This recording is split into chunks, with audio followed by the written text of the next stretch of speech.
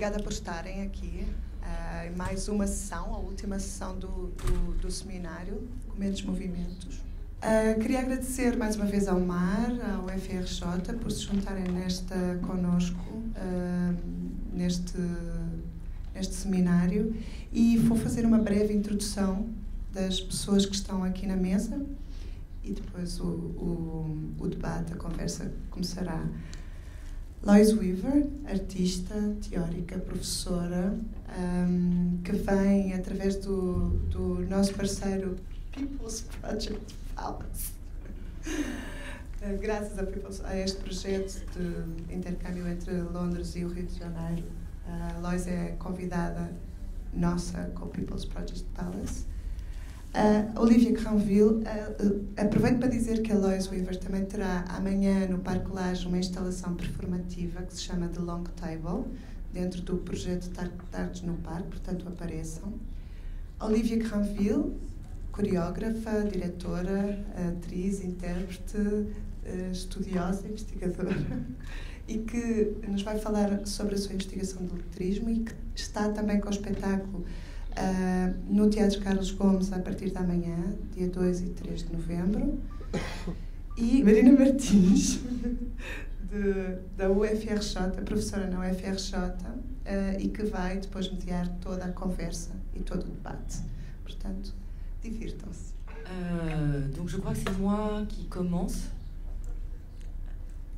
Et j'enlève la traduction parce que sinon ça va être étrange. Donc euh,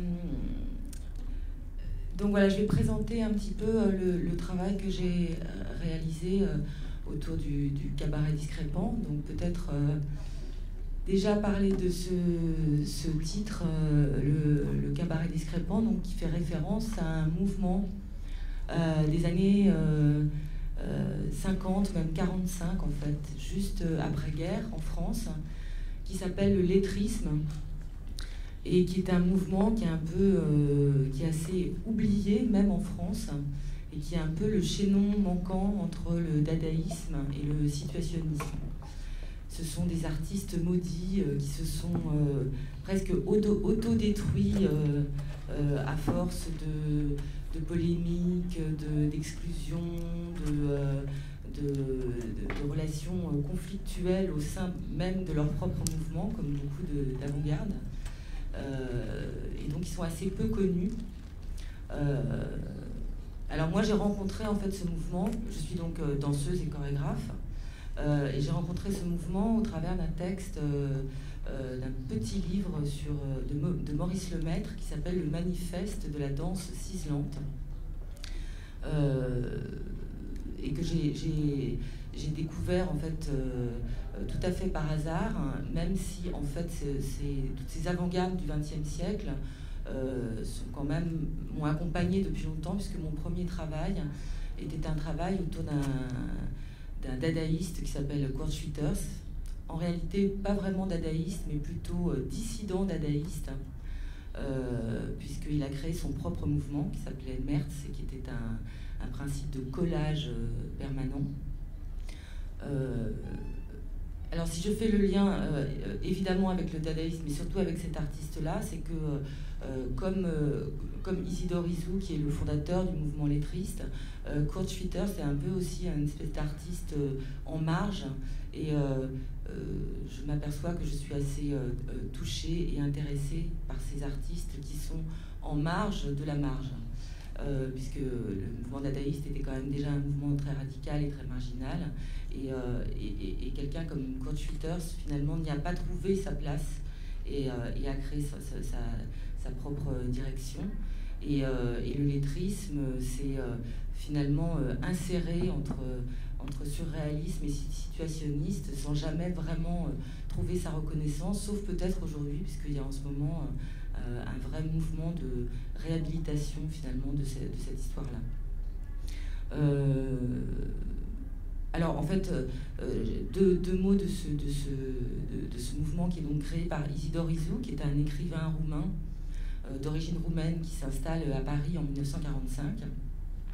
Donc il a vraisemblablement croisé Tristan Zara, donc, qui est un poète dadaïste avant-guerre. et quand il arrive en 1945, il a 20 ans. Euh, il a déjà écrit des tonnes de choses et notamment il a déjà posé les bases de ce, de ce mouvement qui est au départ un mouvement euh, euh, poétique, puisqu'en fait, en, en, lisant une phrase d'un poète allemand qui s'appelle Kesserling, il comprend mal la traduction. Et la phrase qui disait le poète éclate dilate les, vocables, il la comprend comme le poète dilate les voyelles. Et en fait, c'est à partir de ça qu'il va élaborer toute une théorie de la poésie au départ, euh, qui est qu'il y a eu une période, euh, ce qu'il appelle amplique, et qui est que de Homère à Victor Hugo, la poésie s'est développée euh, dans une, des, combinaisons de plus en plus complexes de styles, etc et que à partir de, euh, de, Baudelaire, on rentre dans une phase ciselante où on va détruire la poésie euh, euh, pour arriver à la, musique du vers, puis des mots, puis de la lettre. Et en fait, ce principe qu'il pose au travers de la poésie, finalement, il va le développer et l'étendre à tous les domaines du savoir et élaborer une sorte de théorie de la création permanente euh, basé sur l'idée euh, que euh, les, formes vont, dans un premier temps, vers un, développement, une amplification, une, volonté de, se complexifier et qu'à un moment donné, elles passent nécessairement par une phase d'autodestruction nécessaire à leur réactivation en fait. Bon, c'est un peu compliqué tout ça, je sens. c'est pas facile d'aborder. C'est vrai que c'est très compliqué et très sérieux au départ. Après, c'est très amusant et, intéressant quand on rentre un peu dedans.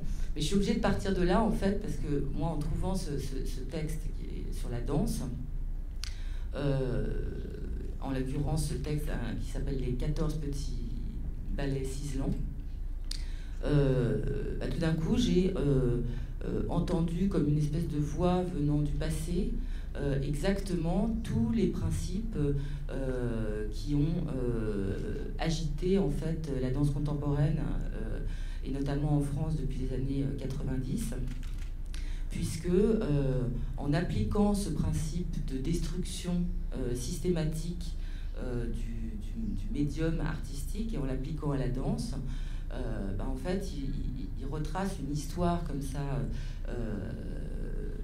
de, la danse et notamment de la danse française qui parle, donc il, connaît absolument pas la danse, hein, comme il, il s'intéresse à tous les domaines, mais sans les connaître de manière tout à fait théorique en fait.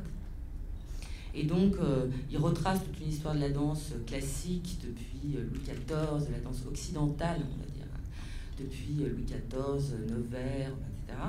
Et puis, euh, il va se poser euh, une suite de questions qui vont être, euh, ben, finalement, pourquoi est-ce que la danse, c'est seulement les mouvements des jambes et des bras? Pourquoi est-ce que la danse, ça ne serait pas aussi toute, la mise en, œuvre de, tout le corps et des, parties les plus, les plus les plus petites du corps, et puis pourquoi est-ce qu'on ne ferait pas aussi danser les organes, et puis les fluides du corps, et puis, et puis au fond, pourquoi est-ce qu'on ne penserait pas à la danse plutôt que de danser réellement?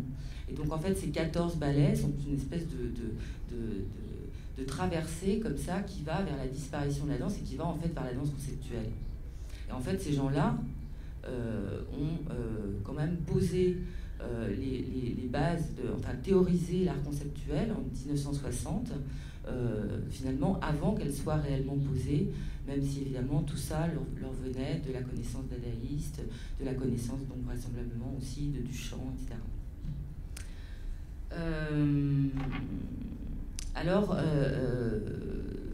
ce, mouvement a donc été fondé par ce, ce poète Isidore Isou, qui avait donc 20 ans, quand il est arrivé en France. Et comme toute euh, avant-garde, c'est une histoire collective et c'est aussi une histoire euh, politique, bien sûr.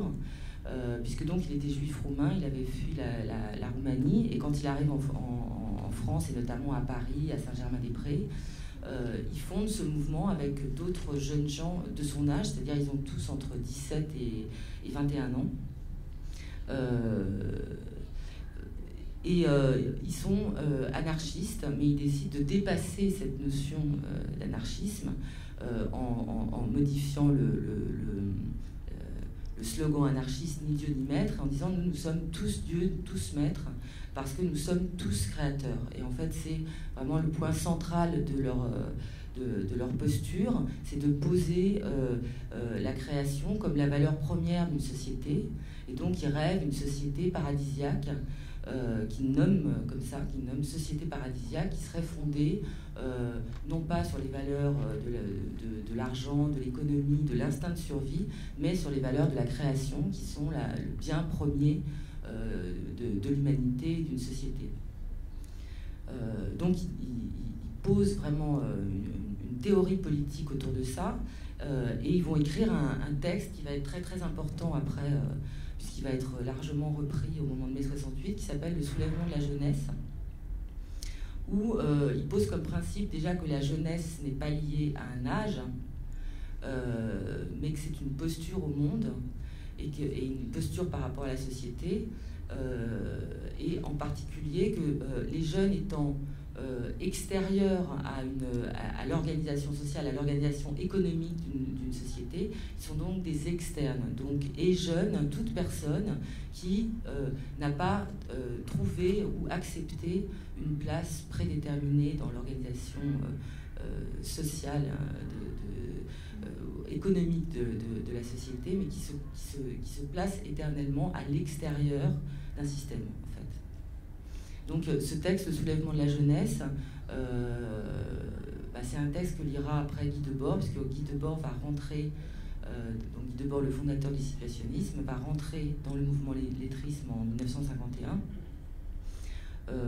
et notamment au travers de sa rencontre avec le cinéma lettriste, puisque Isou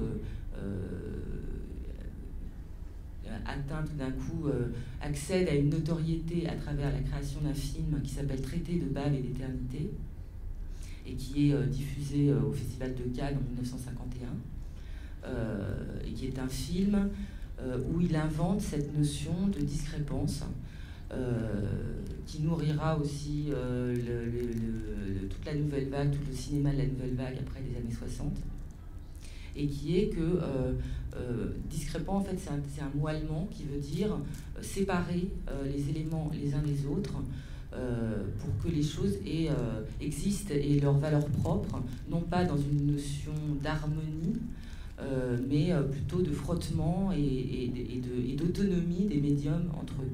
Donc il applique ça au cinéma en séparant l'image de la bande son, mais aussi en travaillant la pellicule elle-même, en dessinant sur la pellicule, en, désolidarisant euh, euh, la narration euh, du contenu théorique. et en fait, il, va appliquer cette méthode-là aussi à, toutes les formes qu'il va proposer. Donc séparer, les éléments les, uns des autres pour qu'ils aient, pour qu'ils aient leur propre valeur.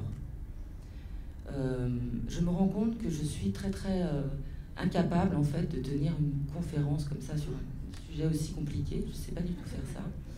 Euh, donc en fait, j'aimerais bien qu'on me pose des questions. Parce que franchement, je ne sais pas du tout faire ça. J'ai énormément de choses à dire sur le lettrisme, mais je ne suis pas du tout historienne. Je suis incapable de structurer euh, un discours. Donc je suis assez lettriste en fait dans ma manière de parler, parce que les choses arrivent comme ça un peu en vrac et, euh, elles ont une valeur en soi, mais elles sont tellement euh, démultipliées que je pense que vous n'avez rien compris à ce que j'ai raconté depuis le début. C'est une question, je sais pas. Euh, donc, hein Si Ça va Bon. Pardon? Donc, je recommence. À zéro. alors, par quoi je vais commencer? Question. Nova sugestão.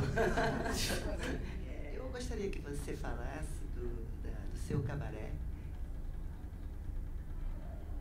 Ué. E, e qual é a relação que ele tem com o cabaré Voltaire do, dos dadaístas bah, En fait, c'est un peu ce que je, je, racontais. Moi, ma rencontre en fait avec, euh, avec l'art contemporain, ça s'est fait finalement par la rencontre avec le dadaïsme. Pour dire deux mots, moi je suis une danseuse classique au départ. J'ai fait mes, toutes mes études à l'Opéra de Paris et j'ai démissionné de l'Opéra de Paris, j'avais 22 ans. Et quelque part, c'était comme si j'étais passée directement du 19e siècle au pas tout à fait encore 21e, donc c'était un petit peu violent comme transition. et, en fait, la première rencontre que j'ai faite, c'est euh, cet auteur, donc Kurt Schwitters, qui euh, euh, n'avait jamais été réussi à être intégré finalement dans le mouvement dadaïste parce qu'il était aussi publiciste et donc il avait créé son propre mouvement, Merz, qui était l'idée après-guerre, après la, destruction d'un monde, de ramasser les morceaux tombés au sol, de les recoller ensemble et de leur redonner vie. Et c'est comme ça qu'effectivement j'ai découvert le dadaïsme. Donc, euh, euh, et en fait, ce qui est assez euh, joli comme histoire, c'est que ce petit bouquin sur le lettrisme, je me suis offert, je me le suis acheté, je l'ai trouvé à cette époque-là. Et puis comme à cette époque-là, je m'étais nourrie d'énormément d'ouvrages autour du dadaïsme, je crois que j'en ai eu un petit peu assez de ce, travail universitaire, et donc j'ai laissé dans un coin ce petit livre et je l'ai retrouvé des années euh, après. Euh, et surtout, je l'ai laissé parce qu'effectivement, les lettristes par rapport aux dadaïstes, c'est très très proche finalement. Et donc, ils ont été d'ailleurs accusés d'avoir de les avoir plagiés. C'est proche à un endroit et aussi très différent, puisque les, les, dadaïstes, euh, la devise des, dadaïsmes, c'est Dada ne, veut rien dire, ne signifie rien. Euh, et la, nuance et la particularité justement de, quelqu'un comme Izu, c'est que lui, de ce rien, quand même, ce rien est une phase à dépasser réinventer quelque chose. Et ça, j'y reviendrai parce que c'est hyper important aussi par rapport au situationnisme, par rapport à la notion de la mort de l'art, etc. Et c'est aussi ce qui m'a intéressé dans leur discours sur la danse, puisque on venait de traverser, quand j'ai trouvé ce livre donc en 2008, on venait de traverser quand même déjà 20 ans de danse contemporaine euh, très très orientée autour de la danse conceptuelle. Euh, et on subissait, euh, moi qui faisais partie de cette génération, beaucoup de critiques nous accusant de, tuer la danse, d'être dans un, processus de destruction de la danse, etc. Et je trouvais que ce texte, à la fois, venait réactiver euh, des notions qu'on manipulait aujourd'hui euh, d'une manière différente euh, et rafraîchir un peu ces notions et les, et, les, les, valider quelque part et en même temps qu'il les questionnait aussi. C'était aussi une manière de dire et maintenant quoi aussi? Maintenant où est-ce qu'on va après, après cette phase-là? Donc le cabaret Voltaire, effectivement, j'ai eu envie de faire le lien entre cabaret Voltaire et, et, et lettrisme. Euh, parce qu'aussi, euh, dans la forme même que j'avais envie de proposer, euh, découvrant en fait cette, cet iceberg qui est le, lettrisme, puisqu'il y a énormément de, textes, c'est très très très riche. Moi j'étais partie de ce petit livre sur la danse au départ, donc, qui, a donné la, forme plateau, puisqu'il y a deux parties dans le spectacle, une forme qui est une forme frontale traditionnelle, et qui est donc ce discours sur la danse, mais tout de suite, j'avais envie de pouvoir proposer parallèlement à ça euh, quelque chose d'abord qui contextualise ce texte, parce que sinon, euh, il est tellement, euh, tellement actuel et tellement surprenant qu'on aurait pu même imaginer qu'il avait été écrit aujourd'hui. Mais aussi une manière de faire découvrir ce mouvement dans sa, dans sa dimension totalement protéiforme et aussi dans sa dimension politique. Et puis j'aimais bien le côté cabaret, qui est plutôt quand même festif, hein, et ce, ce mot euh, euh, absolument rébarbatif, euh, qui est le mot discrépant, qui a d'ailleurs été transformé à, mille reprises, en, général les gens comprennent jamais très bien ce que c'est discrépant, donc on a été appelé cabaret discréditant, cabaret détonnant, cabaret, enfin il y a eu toutes les, toutes les transformations possibles autour de ce mot que personne ne connaît. Euh, et j'aimais bien ce rapprochement. Euh, voilà.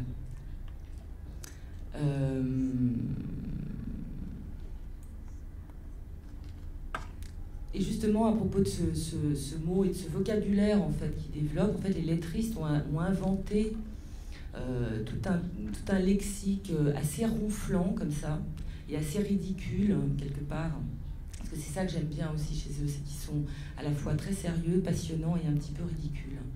Euh, un petit peu ridicule parce qu'ils sont obsessionnels dans une espèce de. Enfin, c'est surtout la figure d'Isidore Isou qui est une figure à la fois euh, euh, touchante et géniale et un peu, un peu, un peu pathétique en fait, hein. parce qu'il rentre, il développe sa théorie. D'abord, sa théorie, il l'a il a vraiment posée à 18 ans. Et après, il va la développer toute sa vie, mais d'une manière tellement obsessionnelle que le livre euh, qu'il finit par publier dans les années 70, qui s'appelle La créatique et la novatique, qui est un pavé de cette taille totalement illisible, euh, c'est presque de l'art brut en fait. C'est presque, c'est vraiment quelque chose qui tourne en boucle et qui devient totalement obsessionnel parce qu'il veut euh, appliquer sa théorie de création permanente à tous les domaines du savoir. et qu'en même temps, il est extrêmement rigoureux, donc il invente toute cette nomenclature paraît parfois un peu risible parce que c'est toujours des racines grecques, c'est très sérieux, et qui en fait est, quand même assez, euh, assez passionnante et assez, assez précise. Du coup, je vais peut-être juste en, citer quelques-uns. Donc, par exemple, il y a l'art infinitésimal. En fait, l'art infinitésimal, c'est l'art euh, conceptuel. C'est euh, une forme qui permet, c'est créer une forme qui permet d'en imaginer une autre. et c'est aussi, donc, décline comme ça euh, euh, dans son processus de destruction tout un chemin qui finalement euh, rafraîchit aussi cette notion de, concept parce que le, la, manière très rigoureuse dont, il décline les principes les uns après les autres, bah, c'est finalement une, histoire de, de, l'art conceptuel, de la performance qui, qui, qui, est redéclinée avec un vocabulaire nouveau. Et, euh, et du coup, ça repose la question euh, différemment. Il y a donc l'art super temporel. Super temporel, en fait, ça veut dire aller faire participer le spectateur, ce que va faire tout à l'heure euh, Loïs. Mais finalement, cette précision de, vocabulaire et ce, caractère extrêmement pointilleux dans la manière de nommer les notions, euh, et ben je trouve ça intéressant aujourd'hui de le réentendre parce que euh, tous ces mots sont devenus un peu des valises, un peu vides. On parle de performance à toutes les sauces, un peu quand même. Euh, et, finalement, leur, exigence de, précision, je trouve, a du sens aujourd'hui. Et, en tout cas, moi, m'a nourri pour me, réinscrire différemment dans ce, dans ce mouvement-là en tant que chorégraphe de danse contemporaine.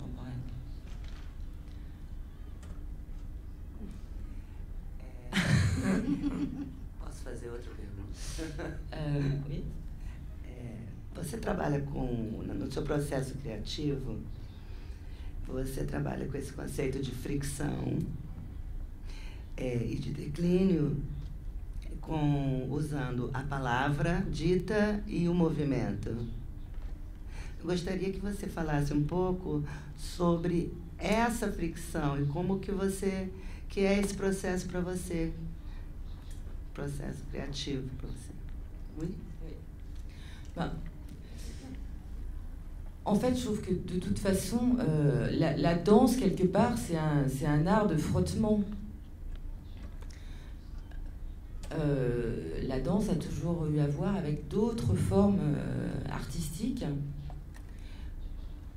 Et, et, et, en même temps, c'est pas du tout une évidence. C'est-à-dire, il y a, y a la danse. Euh, il y a la danse et la musique, par exemple. cet endroit de danse et de musique et de, de relation évidente entre la danse et la musique, qui traditionnellement a été portée depuis toujours et existe toujours. C'est exactement ce que nomme Isou quand il parle de formes ampliques, c'est-à-dire c'est des formes qui vont aller s'étayer les unes les autres. Et la danse, c'est exactement euh, la forme artistique centrale qui est toujours euh, euh, en, but à être accolé à d'autres formes scénographiques, musicales, textuelles. Et historiquement, ça a toujours été le cas. Il y a eu les livrets, alors la danse était narrative, elle racontait une histoire, il y avait des décors, il y avait de la musique.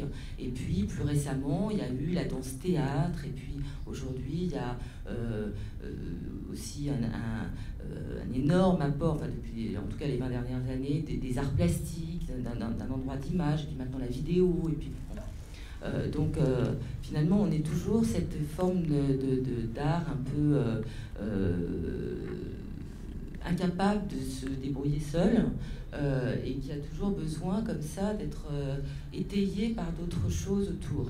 Donc moi, ça, ça m'a toujours questionné quand même. Et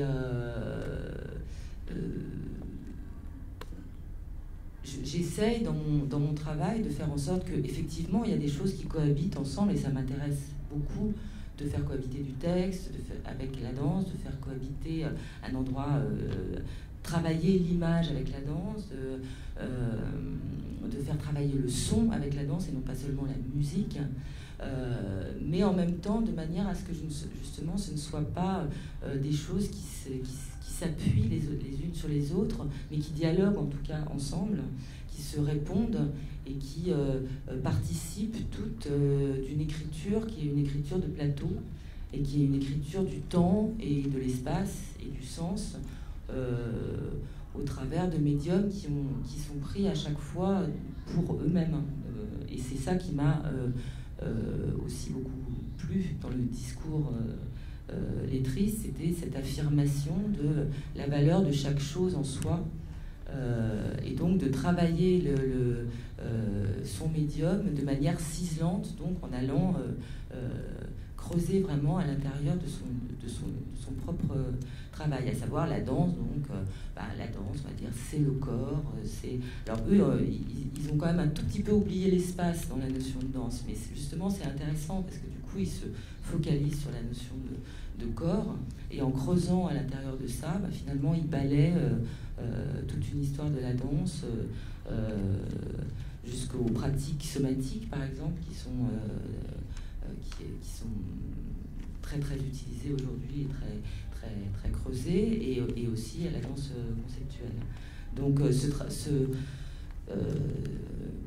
en fait, ce n'est pas, pas parce que j'ai travaillé sur le lettrisme là que cette notion-là m'intéresse ou est questionnée. C'est une espèce de fondement qui d'ailleurs n'a rien, ne, m'est pas particulière non plus. Pour moi, la danse contemporaine, c'est ça, en fait.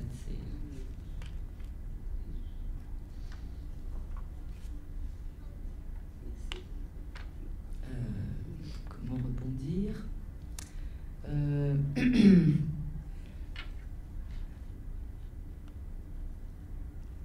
il n'y a, pas des questions un petit peu parce que moi je ne je, je, je, peux pas. Euh, on dirait exactement en fait un des, un ballets euh, euh, que je présente dans mon spectacle, c'est-à-dire ce, moment de débat. Il y a, un des ballets euh, du manifeste qui s'appelle la danse débat. Donc c'est à un moment donné, la danse va disparaître totalement au profit des débats sur la danse.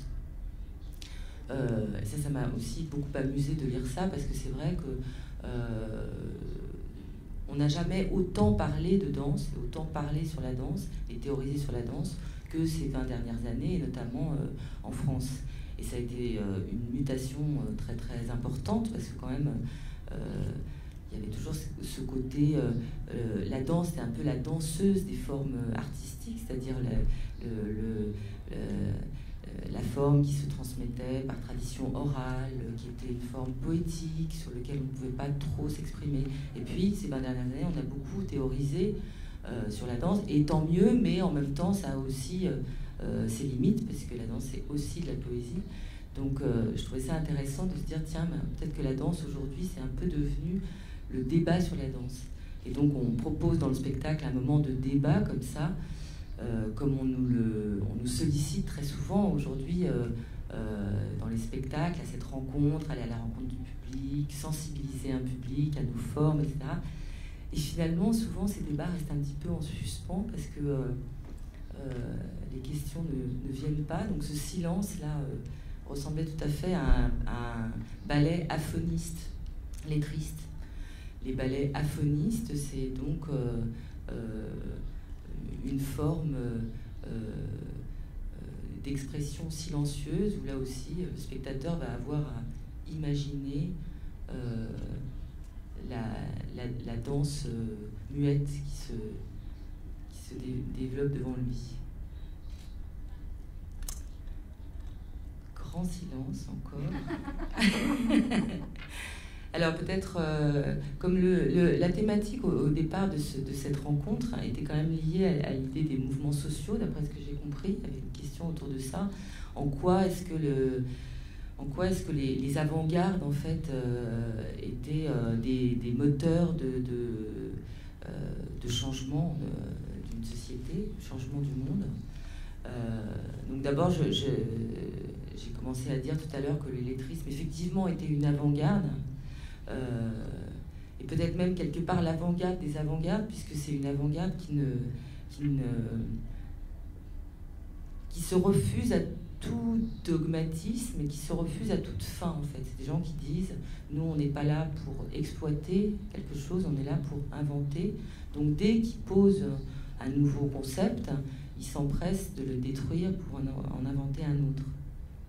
Donc, euh, bah, comme toutes les avant-gardes, le lettrisme, c'est effectivement un mouvement collectif des artistes qui se réunissent ensemble, mais qui se réunissent ensemble avec la volonté de changer le monde. Sauf que cette, manière, cette volonté de changer le, monde, pour les lettristes, je crois que ça s'inscrit vraiment dans leur processus euh, euh, esthétique, dans leur, dans leur pensée artistique. et c'est vraiment l'idée que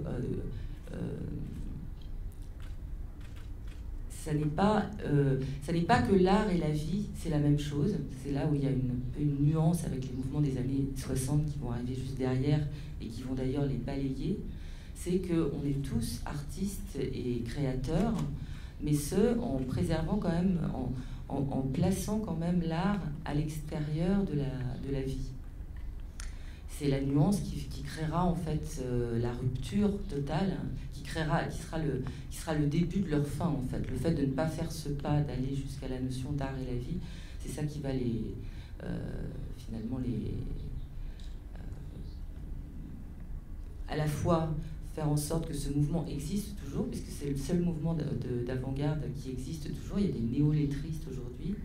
Et en même temps, les rayer de la carte quelque part historiquement parce que derrière eux, il va y avoir les situationnistes, il va y avoir euh, Fluxus, il va y avoir tous ces mouvements-là qui vont arriver, qui vont aller plus loin, en fait, passer le pas de euh, la question de la mort de l'art, la question de l'art et de la vie. Et eux, ils sont encore accrochés à une idée comme ça, qu'effectivement tout le monde est créateur, tout le monde doit être artiste, que la création est le sens premier de la vie, mais euh, c'est assez complexe parce qu'il il situe ça dans le champ de l'art. Et en même temps, comme il s'intéresse à tous les domaines du savoir, depuis euh, euh, la théologie jusqu'aux mathématiques, en passant par la cuisine, euh, les bénisteries, et qu'ils enferment tout dans ce processus de création permanent, tout est art aussi. Donc c'est très compliqué comme point de vue, très c'est un, une espèce de serpent qui se mord la queue, comme ça. Et tellement mord la queue que, euh, en fait, euh, Isidore Isou, quand même, euh, ce, ce, ce, livre, La créatique et la novatique, est une somme monumentale où il, où il tente d'enfermer ses théories dans des, dans des équations vraiment mathématiques. Il essaye de poser des, des, des, des principes de, création sous forme vraiment d'équations mathématiques. Et euh, finalement, il va quasiment devenir fou avec ça. Euh, et vraiment, euh, ça tourne en boucle, quoi. C'est vraiment. mais, mais, en même temps, c'est valide. C'est ça qui est tout à fait étonnant. C'est que quand on, peut ouvrir ce livre à n'importe quelle page, d'abord on éclate de rire parce que c'est. parce que quand il essaye d'élaborer, par exemple, un principe du super tâtonnement créateur. Euh, bon, c'est quand même un peu risible. Et en même temps, euh, bah, c'est un peu ce qu'on fait. Finalement, on n'arrête pas de tâtonner. Euh, dans plein de directions et c'est comme ça qu'on invente aussi. Donc tout est toujours comme ça un peu ambivalent et par ailleurs il a quand même malgré tout, je pense aussi de l'humour sur lui-même. Donc cette manière extrêmement ronflante de nommer les choses et dogmatique de nommer les choses, il s'en moque en même temps. Donc c'est vraiment à, double fond en, en permanence. Uma pergunta sobre. É,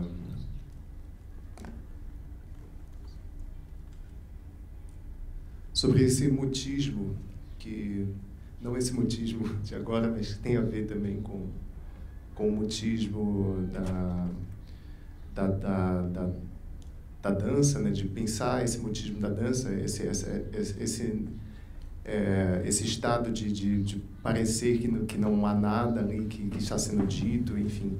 Como se esse, é, esse mutismo, de alguma maneira, é também o que inseta é, o espaço da crítica na, é, numa obra de arte, não somente na dança, mas a gente está falando aqui de dança, mas uma vez que, que eu tomo como pressuposto de que a, aquela obra ela é muda de alguma maneira, né? tipo, o que está sendo dito, desenhado ou coreografada ali ainda resta um certo mutismo, é também o que é, inseta, dá alguma abertura para o, a Babel, enfim, esse, esse, espaço da tradução infinita da obra, que é o espaço da partilha também, o espaço da, da, da o encetamento de um espaço político também sobre aquela, sobre aquela obra, né? tipo, a discordância, a dissidência daquela obra né, que não encerra nem mesmo quando o artista diz sobre a obra dele, mesmo que ele fale, ah, eu tive tal intenção de fazer isso aqui. É, ainda assim há um mutismo, né, uma certa, uma, uma espécie de um segredo, digamos assim, a gente pode pensar, um silêncio, que é também o que dá abertura ao espaço da crítica. Eu não sei se você pensa alguma coisa é, a respeito disso, enfim. Je ne sais pas si j'ai totalement compris la question, mais en tout cas par rapport à la, question du mutisme de la danse, moi je sais que c'est effectivement quelque chose qui m'a toujours à la fois pesé et interrogé. Euh, en fait, le langage, en tout cas pour moi, est une des dimensions du corps comme une autre, et c'est pas parce qu'on va euh, parler, par exemple là je suis en train de parler, et euh, le chemin qui se dessine dans ma tête, visiblement, je suis à peu près la seule à le suivre parce qu'il est euh, extrêmement rhizomatique, on va dire. et effectivement, peut-être que c'est aussi ma spécificité de danseuse et de venir de ce monde-là de la danse euh, qui fait que j'ai pas une manière de construire mon discours euh, qui va du point A au point Z, euh, mais qui est beaucoup plus, je sais pas, organique que ça. Alors je ne sais pas si c'est un bien ou si c'est un mal, mais en tout cas le fait que les œuvres qu'on fabrique gardent toujours leur dimension de de silence euh, et de euh, d'impossibilité de verbalisation, oui, je pense que c'est effectivement à, cet endroit-là que réside l'endroit poétique, mais aussi l'endroit politique, puisque ça permet au spectateur, à la personne qui reçoit cette œuvre-là, de venir s'y insérer de venir y, trouver sa place et y apporter son propre endroit de création. Et ça aussi, c'est une des, des, des, des, choses que théorisent et dont parlent beaucoup euh, euh, les lettristes. Bon, c'est pas du tout. Euh, c'est inhérent à toute œuvre d'art. Hein. ce qui est intéressant dans leur discours, c'est justement comment est-ce qu'ils verbalisent toutes ces, toutes ces choses-là de manière extrêmement précise. Et ça nous rappelle finalement encore une fois avec ce discours qui vient du passé, ça nous rappelle que euh, l'art c'est ça. Et donc dans notre, dans notre euh, nous, euh, statut d'artiste du spectacle vivant, ce qui est assez particulier parce que donc, bah, le spectacle vivant ça se passe dans des théâtres. et que le théâtre, déjà, la, situation même du théâtre est une situation qui est, qui est historiquement très ancienne et qui n'est pas toujours renouvelée. là, par exemple, on est à une table, vous êtes devant moi, vous êtes assis dans une, dans une salle, et déjà, cette frontalité, elle crée une relation très particulière euh, et avec lequel on a à, se colter, on a à, se, à lutter quand même et à réinventer à chaque fois. Euh, alors évidemment, on peut la réinventer en sortant des théâtres et donc voilà, des, performances. Mais est-ce que, est-ce performance c'est seulement sortir du théâtre? Je suis pas sûre. Euh, mais surtout, on peut la réinventer. en tout cas, cette, dimension du non communicable. Euh, elle est importante, je pense, pour euh, créer cette, euh, relation euh, vivante et active du public vis-à-vis de l'œuvre qui lui est présentée. Franchement, j'aimerais mieux continuer comme ça avec des questions que de, que de, que de patauger dans un discours que je ne, sais pas tenir parce que je ne suis pas conférencière, encore une fois. Euh, je sais pas. Est-ce qu'il y a un sujet sur lequel vous aimeriez que je revienne, que vous n'avez pas bien compris, ou, que j'ai abordé et, en.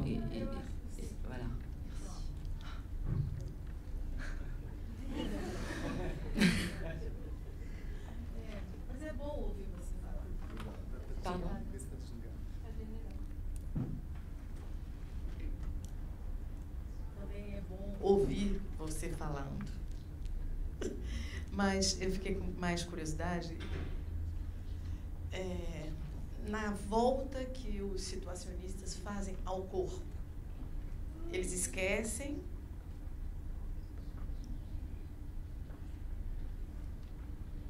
assim entendi que em um momento você deu esse esse relato e que depois eles voltam a, a, com a somatização é, tomando esses aspectos da somatização corporal, isso volta, o corpo volta a, ser, a ter importância.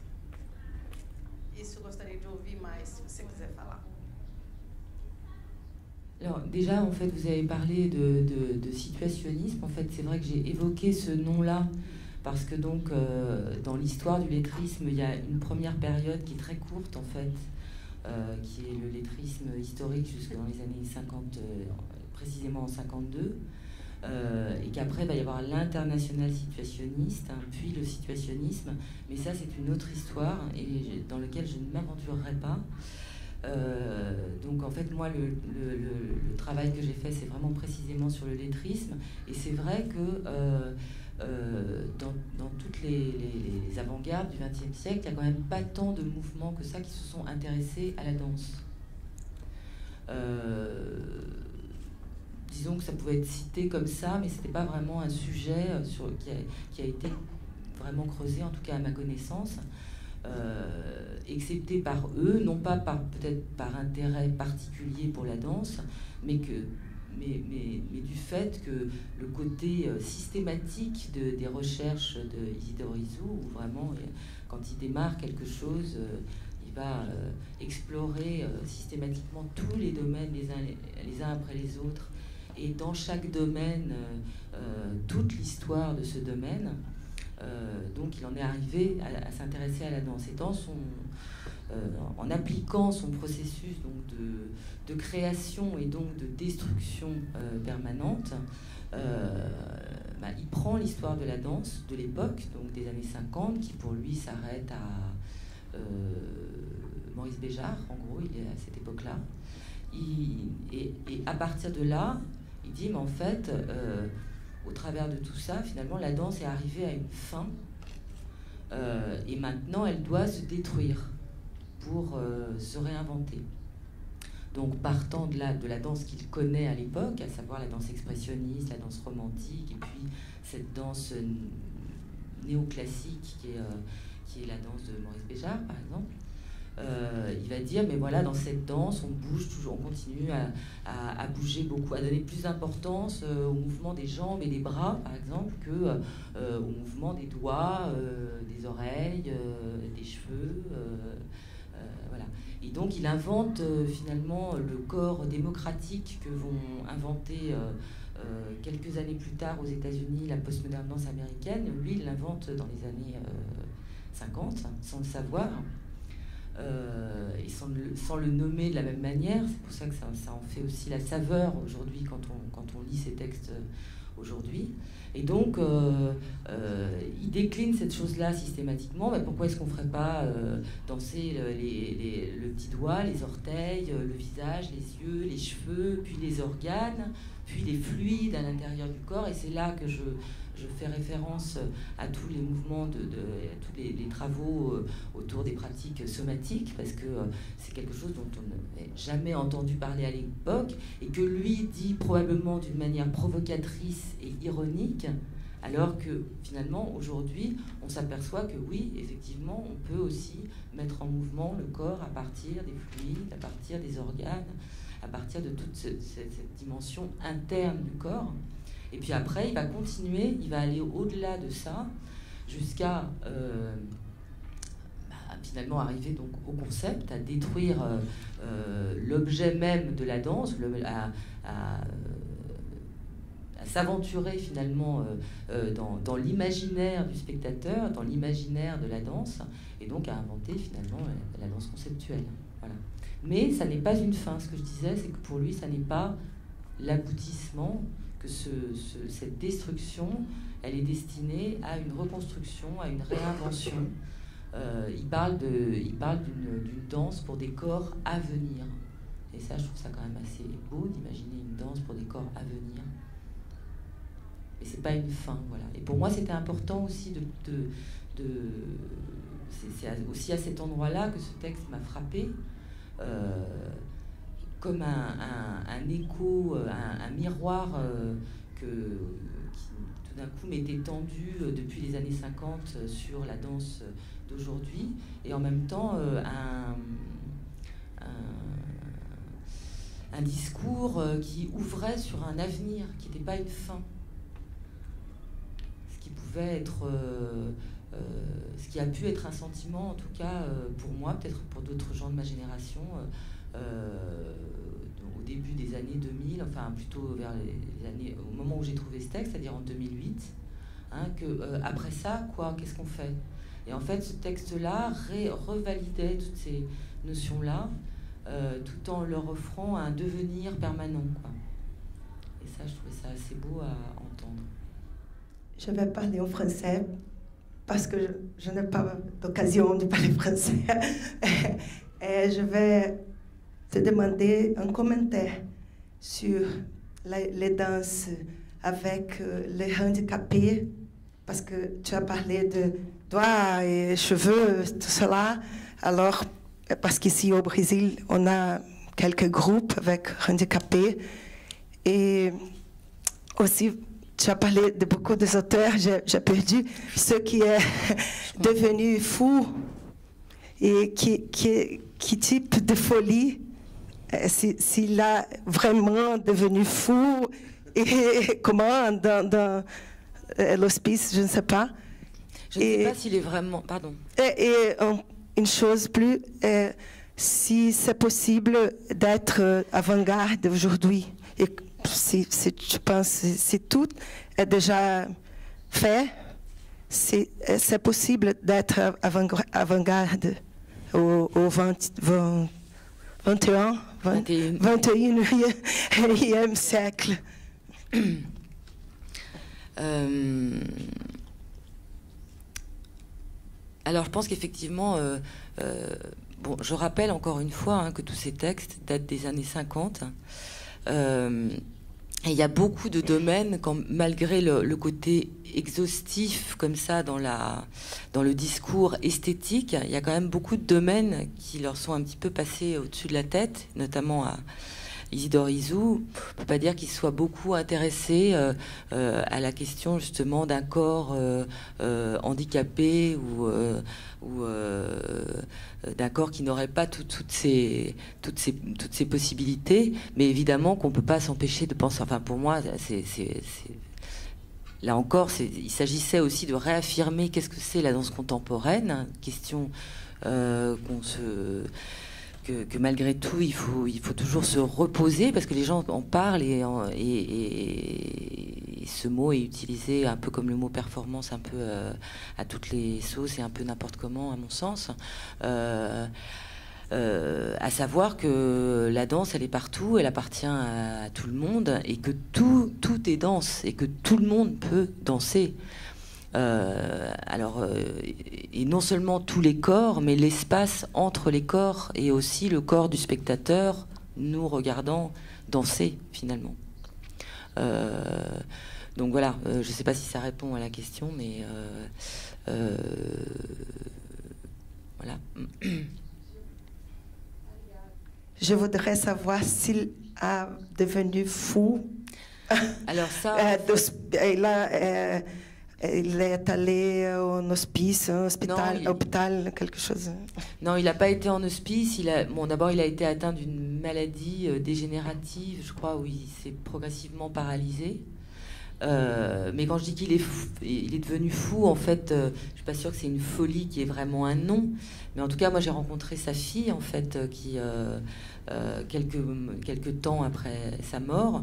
Et c'est un, un, homme qui, qui, a vécu toute sa vie dans une pièce grande de, de, 4 mètres carrés, avec des livres jusqu'au plafond, un lit simple, une table et un point, c'est tout, à écrire, à écrire, à écrire, à écrire.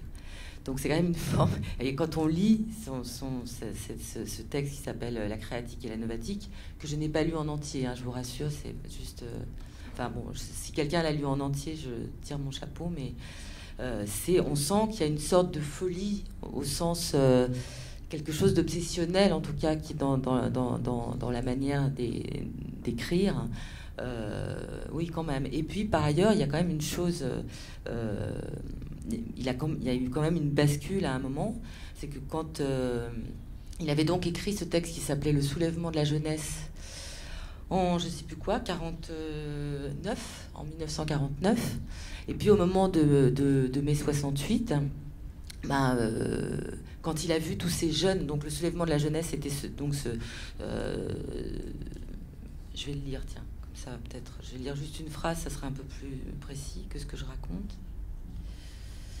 Donc euh, le début du manifeste du soulèvement de la jeunesse, c'est nous appelons jeunes, quel que soit son âge, tout individu qui ne coïncide pas encore avec sa fonction, qui s'agite et lutte pour arriver à une autre situation et à un autre genre de travail dans le circuit économique, car il méprise et hait le rôle que lui offre le marché existant.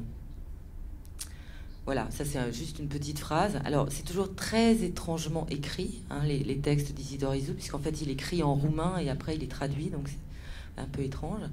Euh, mais en tout cas, voilà, ça c'est le fondement du, soulèvement de la jeunesse.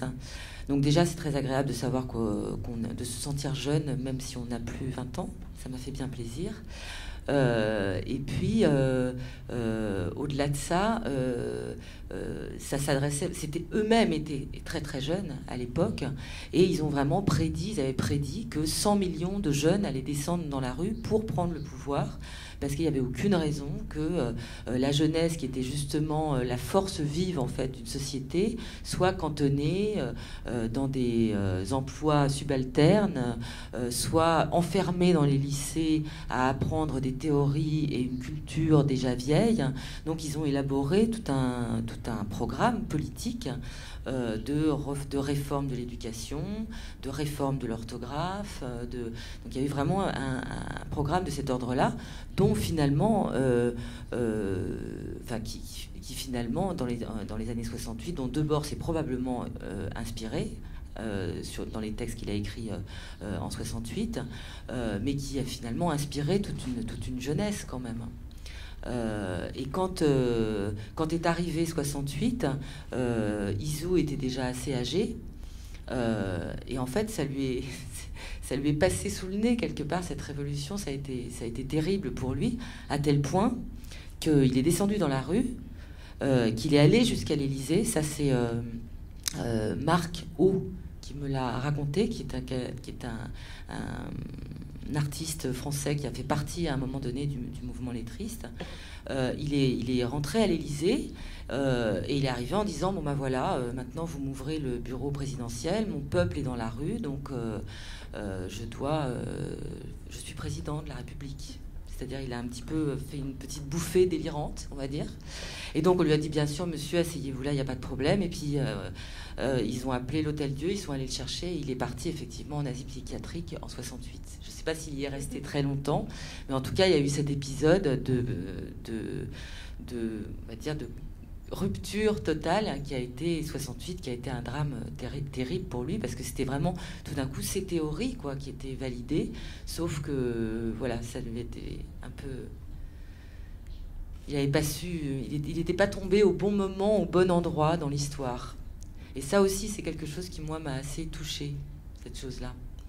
Un peu comme Kurt Schwitters aussi, c'est pas le, c'est pas toujours le bon moment. C'est des gens un peu à côté, à côté de l'à côté. Donc c'est compliqué pour eux. Et par rapport à la question de l'avant-garde, euh, bah justement, je crois que si j'ai eu aussi envie de, ressortir cette avant-garde-là, qui est une avant-garde oubliée, euh, et qui se revendique pourtant encore aujourd'hui comme une avant-garde, puisque donc euh, il y a toute une bande de, de, gens qui sont un peu foudingues hein, quand même, qui se revendiquent du lettrisme aujourd'hui. Euh, oui, moi je pense qu'on peut, qu'on peut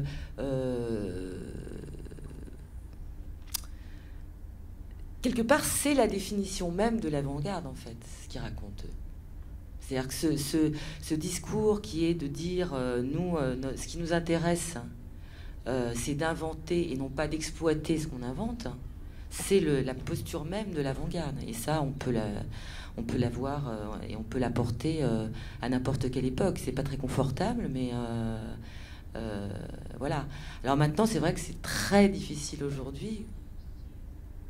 Parce que même quand on se situe en marge de quelque chose, on est immédiatement intégré à, un mouvement. Puis surtout, ce qui enfin, je trouve que ce qui est plus ce qui, moi, me touche aussi beaucoup dans ces, dans ces mouvements-là, c'est le collectif, c'est la notion du collectif.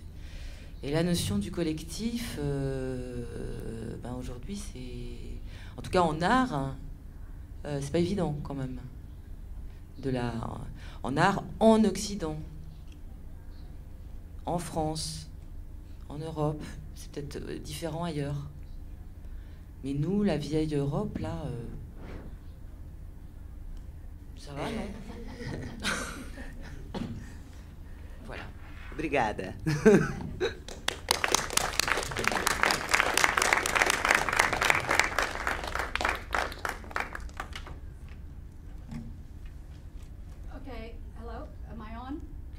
Yes? Now. Okay, good. Um, thank you, Olivia. Uh, thank you for, especially for uh, saying that we all can dance, because I'm not a dancer. I'm a performance artist, uh, although I'm very interested in the choreography of conversation.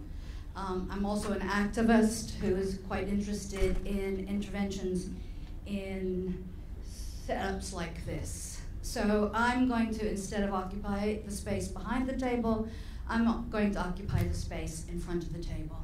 Um, and I'd like to say thank you for one brief second to Panorama for bringing me here, um, for feeding me, and for showing me a good time. I'd also like to say thank you to Paul Heritage and uh, People's Palace Projects for it, uh, suggesting that Panorama invite me and also looking after me. Um, and I'd also like to say uh, thank you to my unseen collaborators up here. Uh, because it will be a collaboration of translation, so I, I appreciate you very much, even though I don't know your name. Um, I am going to talk a little bit about my current practice, but in order to do that, I'm going to talk just a few minutes about my past practice. Um, can we, am I on? Um, maybe we'll get the projector on a second. Um, so I, yeah, great, that's what I'm going to talk about. But before I talk about that, I want to talk a little bit about how I came to this moment of creating this website, which is called Public Address Systems, which is a series of uh, strategies for using performance as a means of activism. I came of age as an artist at the same time that I came of age uh, as a political person because I came of age in the 60s and 70s in the United States. In the South, at the tail end, and also actually the beginning of the Civil Rights Movement, uh, in the middle of a terrible Vietnam War, at the very, very, very beginning of feminism, and then the gay and lesbian liberation. So all of those things were happening while I was studying theater.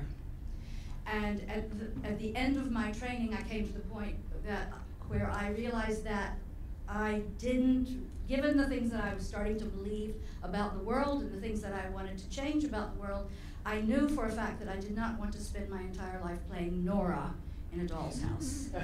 and it seemed to me that was going to be my future, um, and, unless I made a change. And at that point, I did make a change, and I was able to uh, sort of find experimental theater and performance artists who gave me a language and a set of strategies that enabled me to think about how I could make my own work and how I could make that work that I wanted to make say something about the world I wanted to inhabit. And so I spent since 1973 pretty much trying to do that in various ways. I was very, very fortunate to work with a theater company in uh, New York called Spider Woman Theater, which is a Native American theater company. And, oh, do you know them?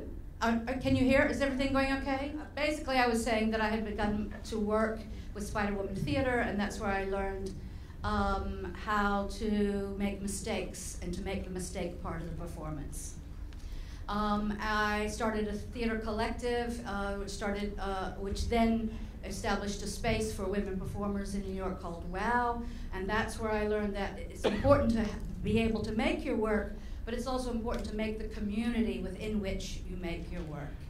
Um, then I continued my work after Spider Woman with a, a company called Split Bridges, and that's where I learned that the both the exquisite and the mundane are vital, vital pieces of material when it comes for me to make performance. So those that was sort of my tra trajectory, and then I come now to sort of a recent period where I've been doing lots of different kinds of work and trying to struggle, or have been struggling, to find a way to rationalize that, to, to have it make sense. Does it, how, it, how is what I do a practice?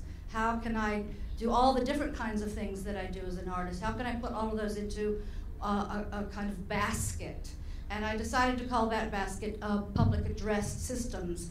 And I began, I started a website. Um, this is for the homepage of the website. Uh, strategies for engaging the public through performance, place, and the everyday. And, and I'm going to take you a little bit through the website and talk about some of these strategies that I consider open source strategies. These are things that I figured out how to make work for me and how to pull my activism together with my art practice, and it might be something that might be useful to you. Um, so, the first thing I'm going to talk about is performance.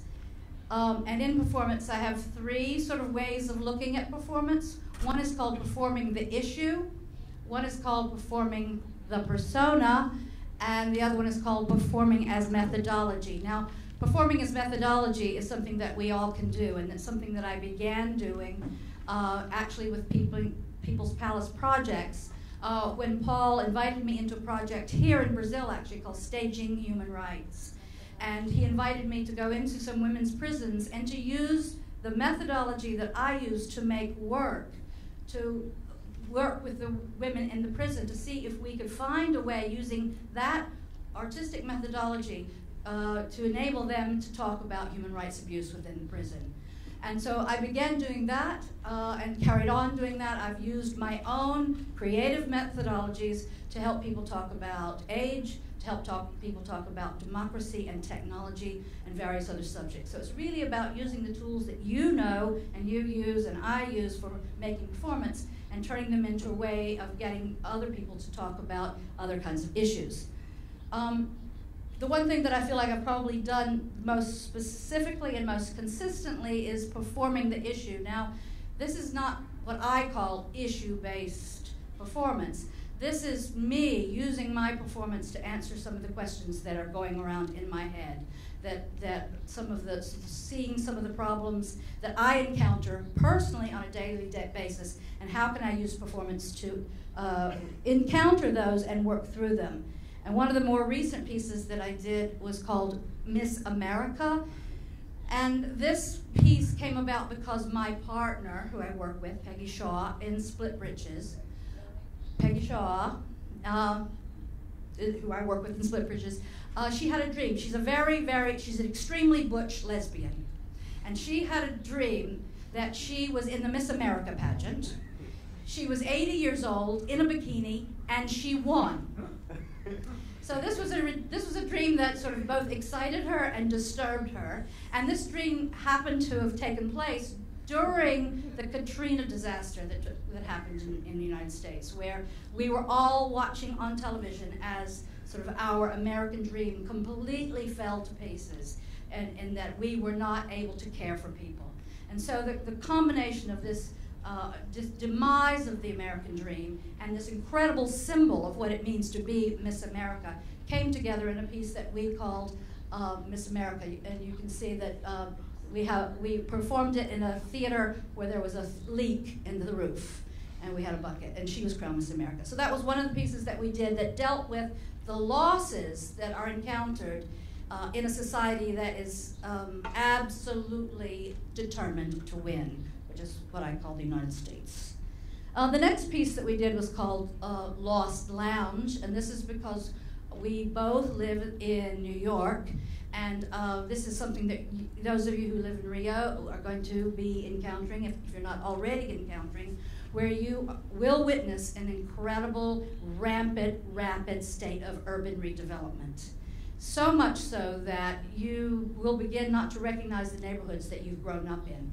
And you, and you, like we, and we, what happened to us is that we began to worry that our memories were going to disappear because our memories were embedded in the places themselves. And once the landscape disappeared, would we remember what went on there? What would we remember who we had been in that city once the city ch changed and became unrecognizable to us?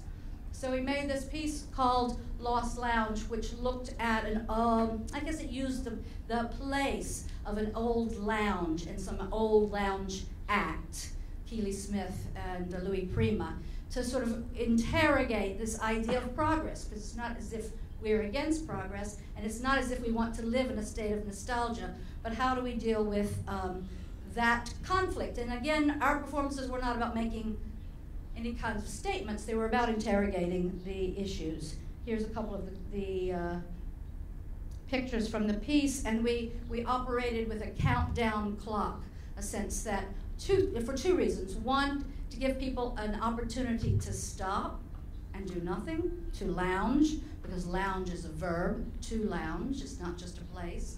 Um, also a sense of like the time is moving forward and things are changing with or without us. Um, and just to prove to you that actually I am a dancer, I included this picture. but I also included this picture because one of the things we work with when we work around issues, we work with humor. And this was uh, my attempt at a ballet, and you can't see, but I have a, I have a, uh, invisible partner behind me helping me do the, those things. Um, the next performing the issue performance that we did was a piece called Rough. Um, this was a piece that I did last year with my partner Peggy Shaw after she had two strokes. And this piece is, a, is really looking at not just the effect of the stroke, uh, but it's also talking about the symptoms of a stroke. So we kind of talk about this piece as a public service announcement. It lets people know what to look for if it's happening to you, because she didn't know it was happening to her. But it is also a way to look at those blank spaces in the imagination that occur when you have a stroke or when you have brain damage or when something happens to your mind as you know it. There, there are dark, empty spaces. That's what the doctors like to call them. And Peggy wanted to look at these dark, empty spaces as new possibilities for new imaginings. So the piece Rough is about uh, how can we examine those new imaginings that come about as a result of some life changing event as drastic as a stroke? And we used green screen technology to, to uh, not just illustrate that, but to investigate that. And if, for those of you who might not know green screen technologies, when you're standing in, in a front of a green screen, but what we can place behind you might be the Tower of Pisa. So you can be and imagine things that aren't exactly there in the space with you. And that, that was the way that Peggy had imagined um, her brain after she had a stroke. So th these are the ways in which we've used our ways of making performance to, like I say, interrogate issues, not necessarily to make statements about the issues. We use them to help us understand the circumstances that we were in in each of those cases. The circumstance of the, the demise of the American dream, which we both celebrated and sort of fear, feared, um, the, the, urban redevelopment of our, our city, and then the actual physical change that uh, uh, comes when someone has had a life changing experience. Um, the other thing that I, I use performance for is performing the persona. Now, I have a persona, and I encourage people to use persona to get themselves out of situations that they might not want to get into, get, not know how to get into. And one of the things that I used to do when I didn't know what else to do was I took off my clothes.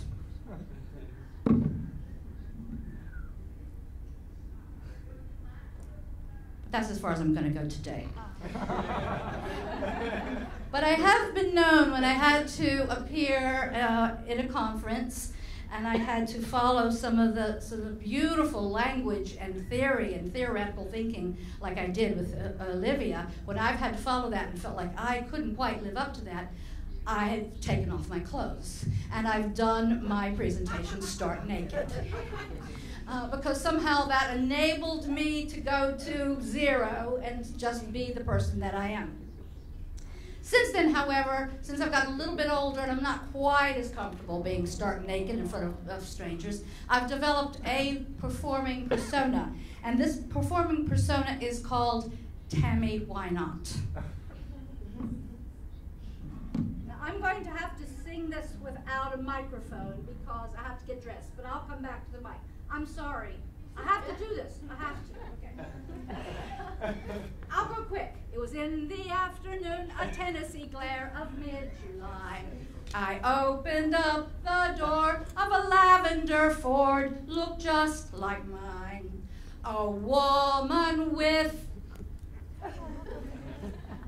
big hair, asleep at the wheel, woke up and said, Oh, hello, sweetheart. This is your lucky day. Come on, get in.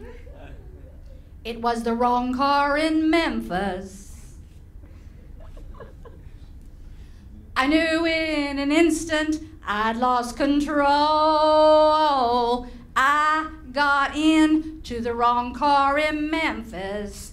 Summer heat and cheap perfume repossessed my soul. I'd come here with a letter to mail, but I was still holding it in my hand. Thank you. She laughed at me and said, Oh, honey, don't you know there's not enough stamps for your discontent? It's just one of those letters that never gets sent. Well, it was the wrong car in Memphis. I knew in an instant I'd lost control. I got into the wrong car in a parking lot of a post office in Memphis. Summer heat and cheap perfume repossessed my soul. Now, she touched up her lipstick, turned on the radio, said, Are you ready to ride? I eased into gear, and in the rear view, everything looked like a sign Firestone tires, Pearl psychic reading, Krispy Kreme donuts. Sister Hope's Beauty Salon. You know, when we turned onto Bonaventure Freeway off of Superstition Highway, I knew there was no turning back.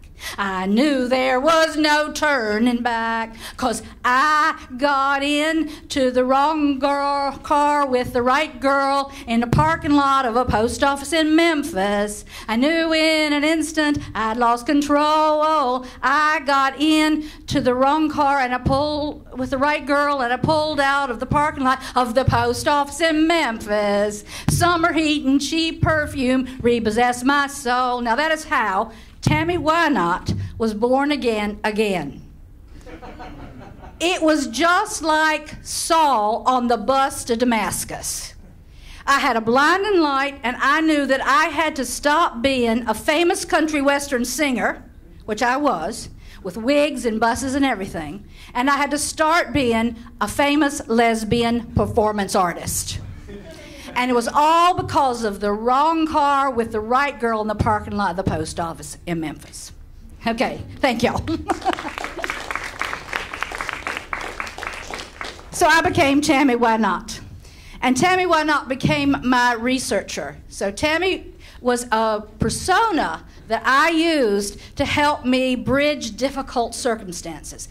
I often hosted live art events in the UK. In fact, I still do this. And I was the one who didn't quite get it. Just enable the audience to be able to feel okay about not getting it. Because once they realized it was okay not to get it, chances are they did. So I became a kind of interlocutor as Tammy Why Not.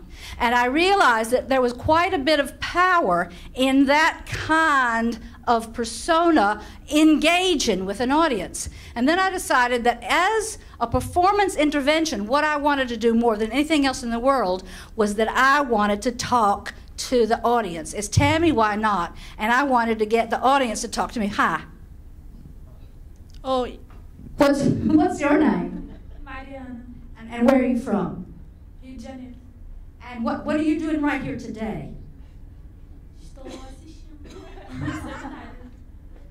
Can anybody translate for me? You're here watching me. How's it going? It's great. Okay. So Tammy went around talking to people, trying to find out everything she needed to know. Because Tammy, as you can see, that's a very formal portrait. She became a researcher, and uh, she became. She started working for a university. She started doing research, and so she would go out in that world and try to find out the things that she needed to know. Because Tammy, as did Lois, came from a rural, working class, Southern Baptist background, and she did not have a very good education.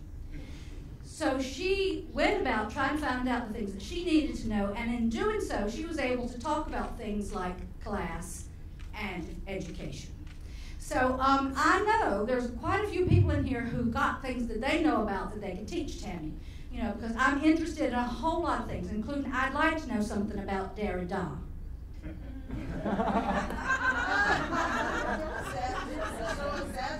and I think I'd also like to know something about Foucault. And I just want to know what y'all really mean when you use the word reenactment. Because I feel like I'm reenacting every time I put my wig on. So, you know, there's a lot of things that have gone on in this room today that Tammy really needs to get to stop and get some definitions for. And, uh, I, you know, I don't really have time for that because I know we have to finish by a certain time and we all want to go out and get a drink. But, you know, the thing is, you, that's right. You, you, what's your name? Come, come, come close to me. David. And David, what are you planning to drink when this seminar, seminar is over? What do you want to invite me? I will invite you. Yeah, you can yes. You see, that's the other thing. Tammy gets dates. And it's not hard for Tammy to get dates. But I'll tell you something. One of the things about getting dates is that Tammy has gotten a little bit older. Tammy's 64 now. And so I don't know if it's appropriate for me to go out on a date with you. Um, but I wouldn't mind. Um, and one of the things that Tammy has recently been really worried about is what happens when you get old. Do, do we know what happens when we get old? Some of us, who here is in their 60s and is willing to raise their hand? Okay, so I'm the only one in my 60s. Who here is in their 50s? a couple of people. Who here is in their 40s? A few people. Now, the rest of you, I'm going to assume, are in your 20s and your 30s. Okay? Now, we just don't get to talk about what happens to us when we get old. We don't really know what that is. We know what it feels like a little bit. We know what to expect from the mass media, but we don't know in here.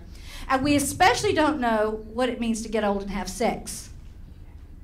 So, one of Tammy's most recent projects has been what Tammy needs to know about getting old and having sex. So, Tammy has been traveling all over the world and asking people about this. Now, this is an intergenerational project. It's not just about old people, although at the moment I am fo- focusing on old people.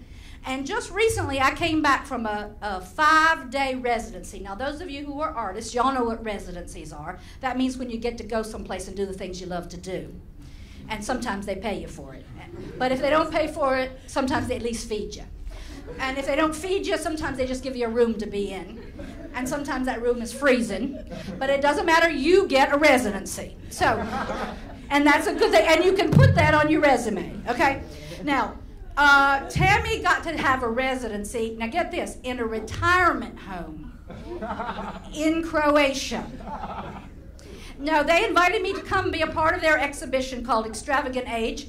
And I said, that sounds great. I'll come over there and I'll talk about what Tammy needs to know about getting old and having sex. How we doing up there, okay? Great.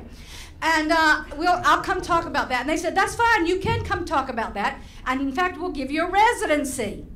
And uh, so one day before I left, they said, Guess where your residency is? And I said, I don't know where. And they said, In the retirement home. You're going to live there. So here's a little movie. Is it? Oh, yeah. Can we have the sound, please? This is Tammy checking into the retirement home.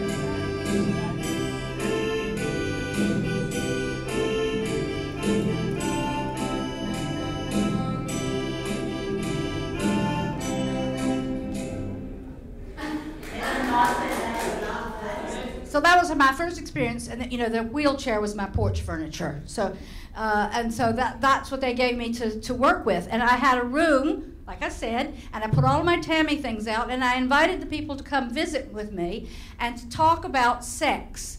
And sometimes they didn't want to talk about sex, but they did want to talk about romance, and they did want to do a little dancing. And this was me. I put this. I did a little song to them. You know, you know that Justin Timberlake song, "Bring I'm Bringing Sexy Back." Y'all know that, that song? I'm bringing. Uh, okay, we, I, am much older now, and that's a fact. I, I, can't remember the song, but I got a lot of oomph for bringing sexy back. Well, here, we did a little dance piece to that song. Uh-huh. Music, please.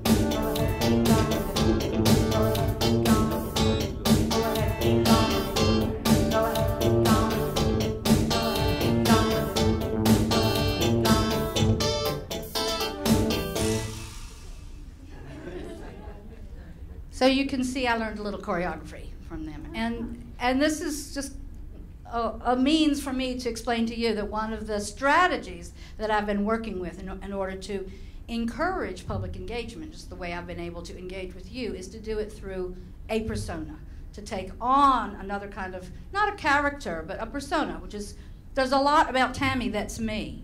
I hated country music. I grew up in the Blue Ridge Mountains of Virginia.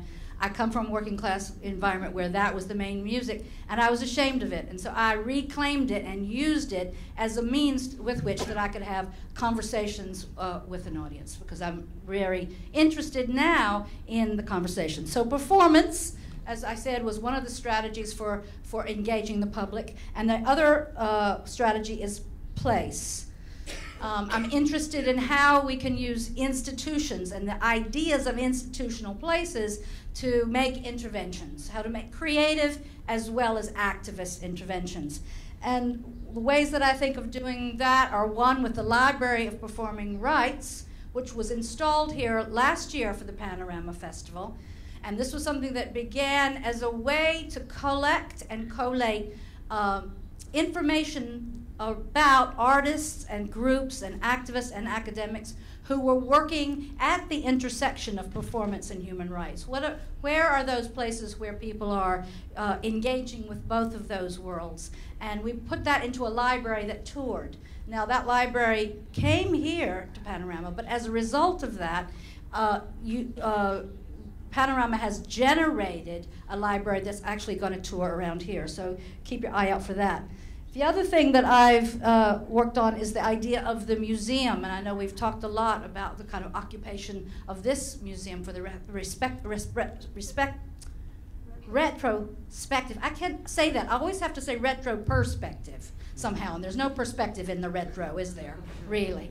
Uh, so the retrospective. Um, but I decided that I wanted to find out why there weren't that many representations of the feminine in museums. Now there are. There's lots of, you know, naked women, and you know, and there's lots of, you know, sculpture and paintings and drawings and things like that. But actually, the sort of representation of femininity. And so I decided I wanted to make a museum called Fem Museum, which would be a museum of our feminine muses. So I got together four, uh, three other artists who perform uh, in the ultra feminine. This is uh, Amy LeMay, myself, Bird La Bird, and Carmelita Tropicana. Carmelita is an artist in New York, Bird La Bird and Amy are artists in London, and we got together and we said, okay, what would a femme museum look like? And in the first instance, we said actually it wouldn't have anything in it because there, there are so few representations. This would be an empty museum. So we created the Femme Museum, which was empty. and we even made some boxes that were empty. And we decided that actually, if we were going to put our effort and our energy into making something for this museum, that energy and that effort would be in the gift shop and the tea room. So the museum was empty, but the tea room was full of stuff. And we all created, this was Amy created a kind of tea room where she heated up the tea and the coffee with her hair dryer. So she was combining sort of ideas of feminine beauty with food, which was not a very pretty sight. Um, and then Bird La Bird, uh, she made some pies that you could eat, and she was interested in polystyrene was one of her muses and um, and feathers, which was not an actual person but a character in a book. So she has some representations of feathers. And those are some of her pie and smash shops, she called it. Because in the UK, we have something called pie and mash. And she had pie and smash. And then this is me. Look at that. I'm Dolly Parton, because she was my muse. And my Aunt Edna was one of my muses, as was Ellen Stewart, who started La Mama. So we collected and made things and sold them as representations of this influence. because we felt like we wanted to make some comment on the commodification of women, and one, on one way, the emptiness of the museum in terms of relationships to their uh, representations in the museum, and we also wanted to look at where women's work is valued, and very often it's valued in the tea shop and in the gift shop. Um, this was Sor Juana, this was Carmelita Tropicana, who was a nun who wrote dirty poems and gave them to people. And here's some images of that. Okay, so those are my ideas about place, how to use place as a strategy for creative and performance interventions. And now the everyday. And this is something I'm really the most interested in. And this is how can we incorporate these domestic details into some situation where we can have worldwide conversations. And for that, I've uh, worked on three or four inventions or interventions, and one of them is called a card table.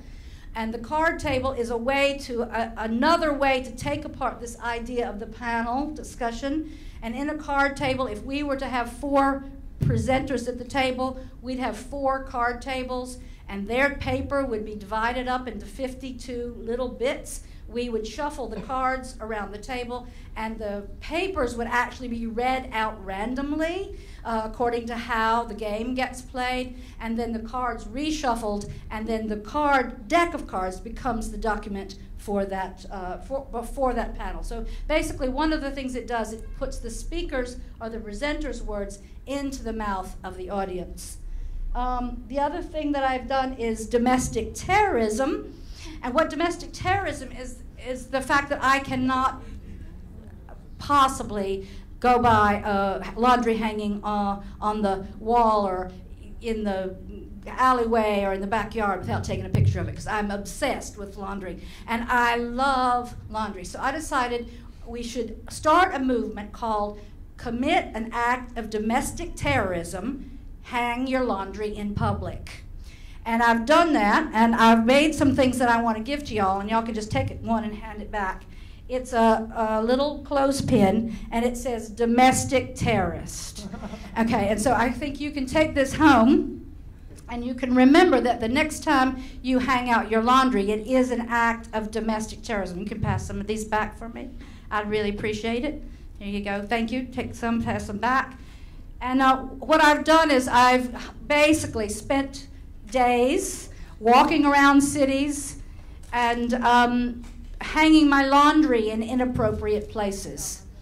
And the things that happen when you are hanging your laundry out on a city street is that people come up and start talking to you. And it's a way of making private acts into public conversation interventions. So I invite you to join me in the domestic terrorism. And the third intervention that I do, and I will be doing next tomorrow, actually, tomorrow, is called the long table. And the long table looks at the dinner table as a means of, again, interrupting the idea of a panel discussion. So the, long table is as long as this, but there are 12 chairs around it, and then the rest of the audience circles those 12 chairs and there is a subject of conversation. Like tomorrow's subject of conversation is going to be art and activism. And we will come to the table and we will talk about that, but there will be no moderator and there will be no special guests.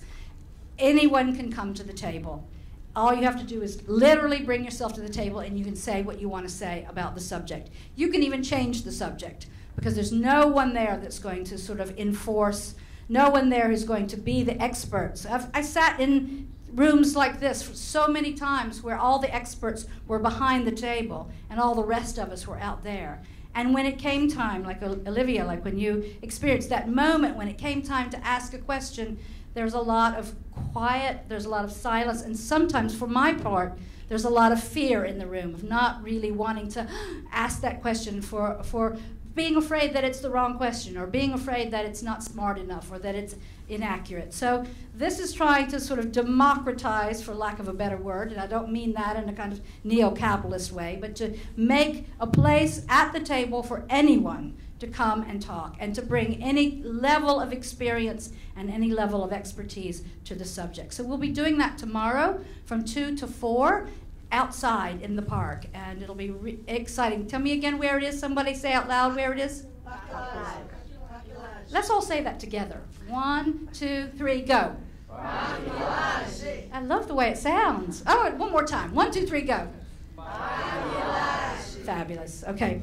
So I'm going to be doing a long table there. So y'all come and tell your friends. Two to four. It's a, uh, I call it a durational piece because uh, we'll just stop. We won't come to a conclusion. We won't try to draw up the threads in the conversation and make any sense out of it. When it gets to be four o'clock, we'll just stop. The other thing is you can come and go. If you can't come for the whole two hours, come for an hour. You know, come for 10 minutes. Come, come check it out. Okay, the final thing that I want to talk about, and the final sort of strategy that I'm working on as a, as a means of uh, engaging audience, using different kinds of performance methodologies, different ideas of performance. Because for me, the idea of the long table is the performance of a dinner party. And so I'm, the other idea I'm working on is called porch sitting. Okay, and so for this, what this is is that we are going to now do a porch sitting. I'm going to come and sit with you in the audience, and we're going to have probably about 20 minutes of conversation. Do you think that's about right? 20 more minutes of conversation? Half an hour, maybe? Uh, where anyone can join in on the conversation from this angle. We're, Olivia and I both are going to sit in the audience. If you want to talk, you need to sort of raise your hand and ask for the microphone. We'll have two microphones sort of circulating in the room. And I encourage you to not necessarily, you could ask a question. You could ask a question of Olivia. You could ask a question of me. Uh, you could also just say, I wonder, or I, I have a feeling this is going to, or what do you think might happen if? Whereas, you know, some of these conversations that we get involved with in, in, a, in, a, in a public way are often very much about this is what I think and this is what I know. Uh, and I'd like for this next sort of 20 minutes of us sitting here together just be about what do we wonder. And if you wonder something about what I'm doing, you wonder something about what Olivia's doing, you wonder something about what this whole thing has been about in the first place, just feel free to speak that out loud. And also, we can feel free to be silent because, as we, we, we, we said earlier, there's a beauty in the silence. But let's sit and think together and sit and think out loud together let me just encourage you, though, that if you're going to just think out loud, to raise your hand and we'll get you a microphone. Okay? You willing to play with me? Okay. Say I wonder? Yeah, yeah. Just say, can I say it out loud? Oh, we need the microphones. Okay. Unfortunately, this is a little bit of a hindrance because right. of the translation. But okay, we can make it. Okay. So um, we were talking about uh, issues, right? Issues performing. So I wonder what issues people would like to perform about or see performances about. Well, how about you, Olivia? Do you have? I mean, as you introduced the question, do you have? Do you have some ideas? Yes, sir. Um, I wonder what people are afraid of in the general way. Um, I wonder what are the things that connect and scare people within the city and within the public places. And I wonder, as a, as a visitor, I wonder how what that is specific to, to Rio. What, you know, what what's you know just detecting the energy around pre World Cup, pre Olympics. I'm and having just lived through that myself with London. I'm wondering what it is that we're you're feeling or thinking and or just seeing. Anybody think about it? What are behind the the actions and behind the the changes that we're seeing in the city? Anybody think about uh, what we are scared of? What are our hopes? What's going on in the city? Anybody? I don't know, but my, uh, Davi's friend Marcelo, was recently arrested by the policeman. And my husband has taken him off uh, one month ago. So people are going to the street to protest, and uh, everybody, anybody can be arrested. You, me, Davi, Marcelo, everybody is being arrested just because it's going to the streets to say to, to protest. This is our moment. So, I mean, I'm a, I'm trying not to lead this conversation. I'm trying to just let us be in this moment of what letting the feelings and the fears and the issues, because it takes time to think and to say those thoughts out loud. And that's that's sort of what I like about the porch sitting. It's scary on one hand. On the other hand, it, it, it for me, it's designed to um, take the the edge off what it means to talk in public and to, to imagine that we're talking in private and, uh, and, and to be able to have those private conversations in public because that's when we do find out things uh, and, and find, not only find out things but also things start to happen. I did a, uh, a porch sitting in um, New York at La Mama and uh, it was a conversation about queer performance and the future of queer performance in New York, which has had a long history already of queer performance. And yet, there were a lot of young LBGT performers in the audience who had a lot of anxiety about where and how to perform. And the result of that was that uh, there were also some producers in the audience who said, Well, actually, I have a space. Why don't you come and program something in my space? So, and that's a conversation that might not have happened between people if we didn't allow for some kind of just open out loud wanderings in, in public. So, I mean, those are the kinds of things that I hope for when I set up something like this. I understand and completely empathize with a sense of shyness around not wanting to speak. Et moi, je, je, je, comprenais très bien euh, euh, cette histoire de, de poser, euh, de se poser une perruque en fait sur la tête et de se mettre un vêtement pour finalement justement passer au travers de cette peur quelque part. Parce que c'est...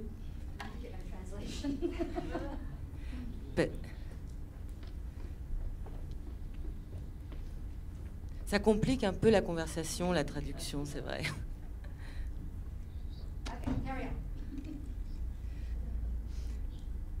Non, je, disais que j'aurais bien, j'aurais bien amené une perruque qui, est d'ailleurs une perruque que, je porte dans le spectacle. Parce que c'est vrai que quand je comprends très bien le, le, choix de Loïse d'intervenir avec un, vêtement. Euh, et, du coup, c'est un peu différent ce que, ce que tu demandes aux gens. Parce que eux n'ont pas ce vêtement pour se protéger de. Et être quelqu'un d'autre qui, qui, peut effectivement s'exprimer en public sans, sans, sans peur.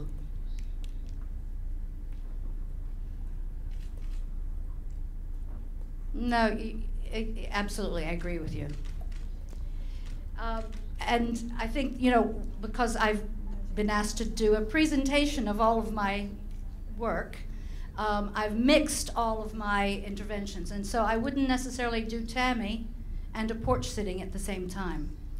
That there's a way in which Tammy or the persona is able to sort of interrogate and encourage people to speak, whereas the something like the long table and also the porch sitting really requires a person to come forward on their own without that encouragement. So perhaps I should take my wig off. É, eu ia, é, ia não, vou fazer, comentar sobre isso, que dá, quando você falou da proposta da, da Long Table, que vai acontecer no, no Parque Laje, e aí você comentou assim, ah, desse espaço livre, o espaço público como espaço é, livre de, de, de, intervenção pública, onde qualquer um pode né, falar e tal. Mas, é, é, e ao mesmo tempo, eu tinha eu pensei sobre isso, tipo, que ao mesmo tempo, não sei se você percebeu que na sua performance, quando você levantou, tipo assim, a, a primeira ação, a performance enquanto acontecimento, né, a, foi as pessoas saírem da mesa. Então, tipo, como que a é, esse espaço livre, ele é um espaço que cria algum afastamento, sempre vai existir esse afastamento, e esse comentário de a tradução sempre é complicada, eu acho que a, a, vai, vai ter sempre essa distância, até mesmo eu falando em português, eu tenho certeza tem um monte de gente que não está entendendo o que eu estou falando. Então, a, a, a, no primeiro dia do seminário, fiz uma pergunta que eu acho que nem eu mesmo entendi o que foi que eu perguntei, mas...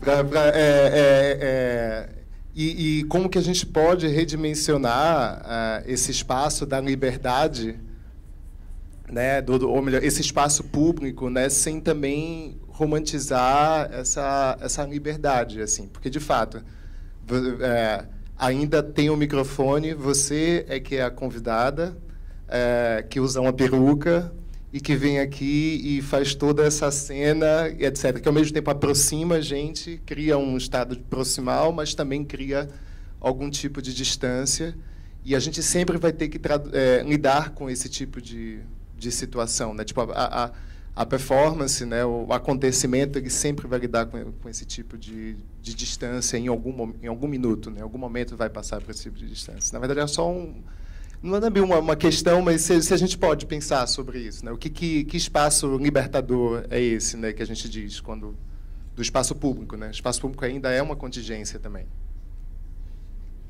Well, I mean, I mean, what I thought about when, as you were speaking, was that uh, in uh, the long table is a very good example of that because the long table in the beginning feels very much like this beginning, where people are distant and leave the room and run away and back up. And it, and for me, I'm, I'm not I'm not Tammy. I'm not. I don't have a microphone. I'm just sitting at the table waiting for people to come have a conversation. And so it's about being uh, not afraid to move through the awkwardness of nothing happening and to not be afraid of moving through the silence or, or, or the control, what, those that, that, like you said, uh, the distance. But when the conversation itself kicks in, at about 45 minutes in, then there, that, that, that disappears. The conversation pulls people in and takes the distance away. And people come and go from the table. They come and they leave, they come and they leave because the thought and the conversation and the contribution sort of somehow um, dissolves the distance and dissolves the self-consciousness when we get when it gets going. But the, the key, I suppose, to the freedom that you are talking about is patience and an ability to wait through awkwardness and silence and discomfort and wait for something to kick and then go with it when it does.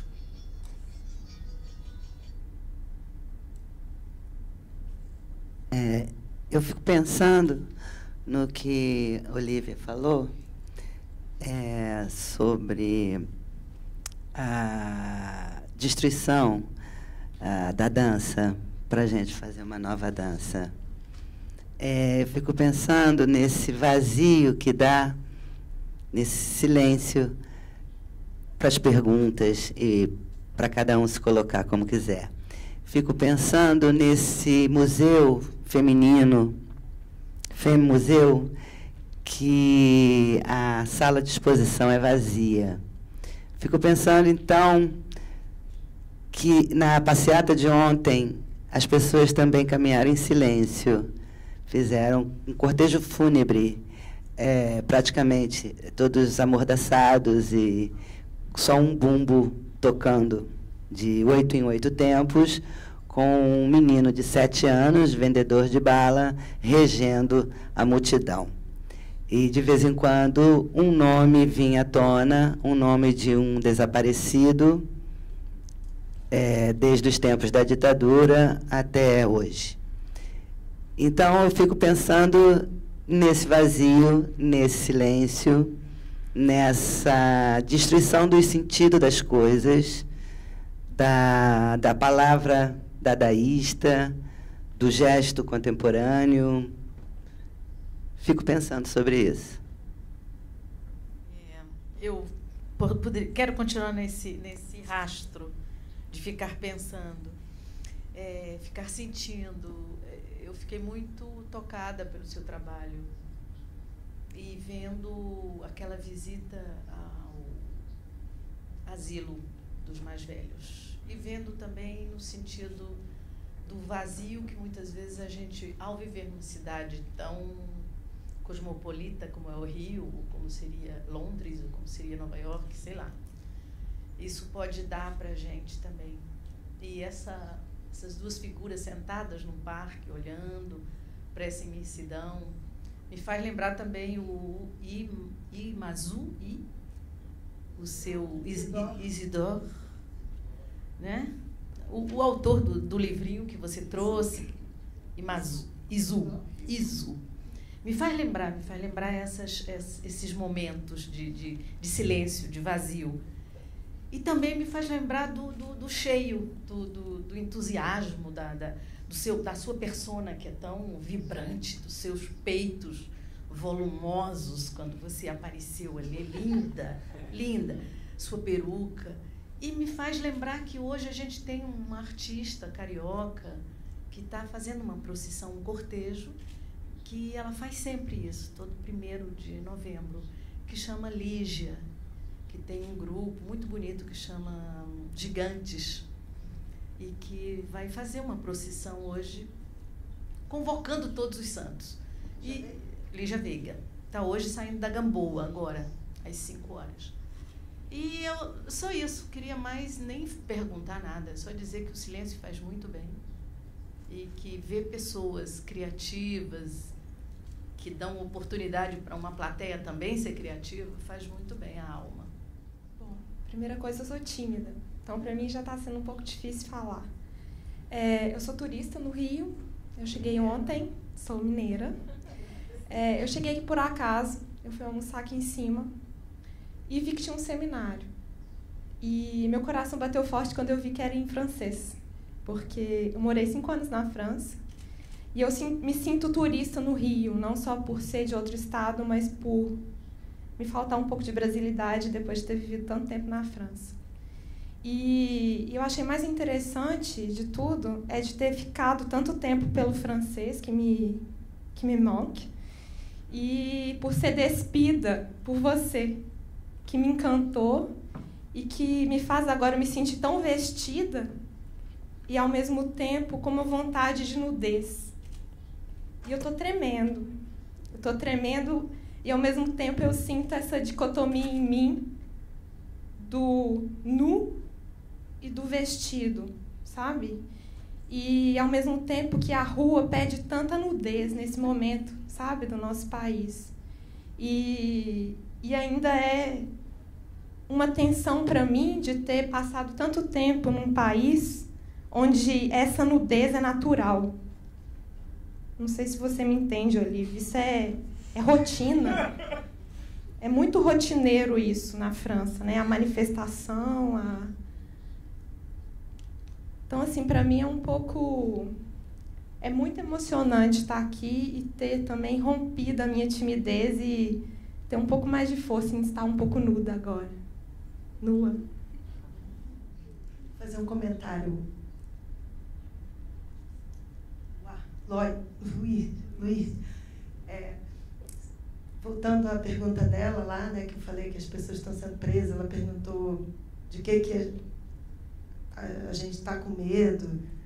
É, você percebeu, a gente está vivendo esse processo muito intenso de gentrificação, a cidade sendo atropelada, nós sendo, nós todos atropelados como um trator, os grandes eventos e todas essas manifestações e e ao mesmo tempo medo, porque uh, tem gente sendo até morta, né? presa, morta, e o medo do outro lado, do poder constituído, do que é esse movimento das pessoas na rua e o, o, como fica esse artista que faz performance no meio da rua.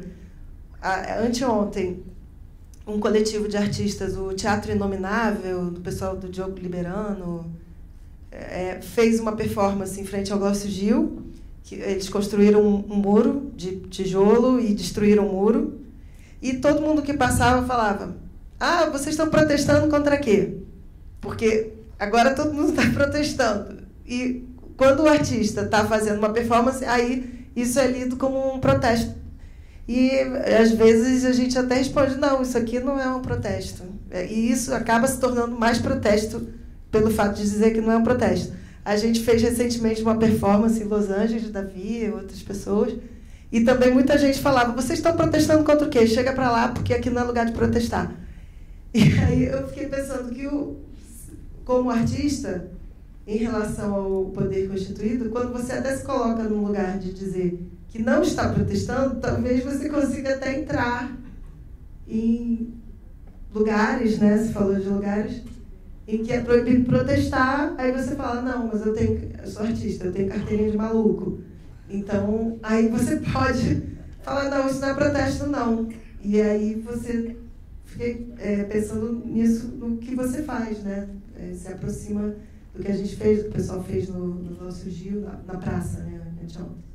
Boa tarde, meu nome é Alexandre, sou português, vivo há oito anos aqui no Brasil.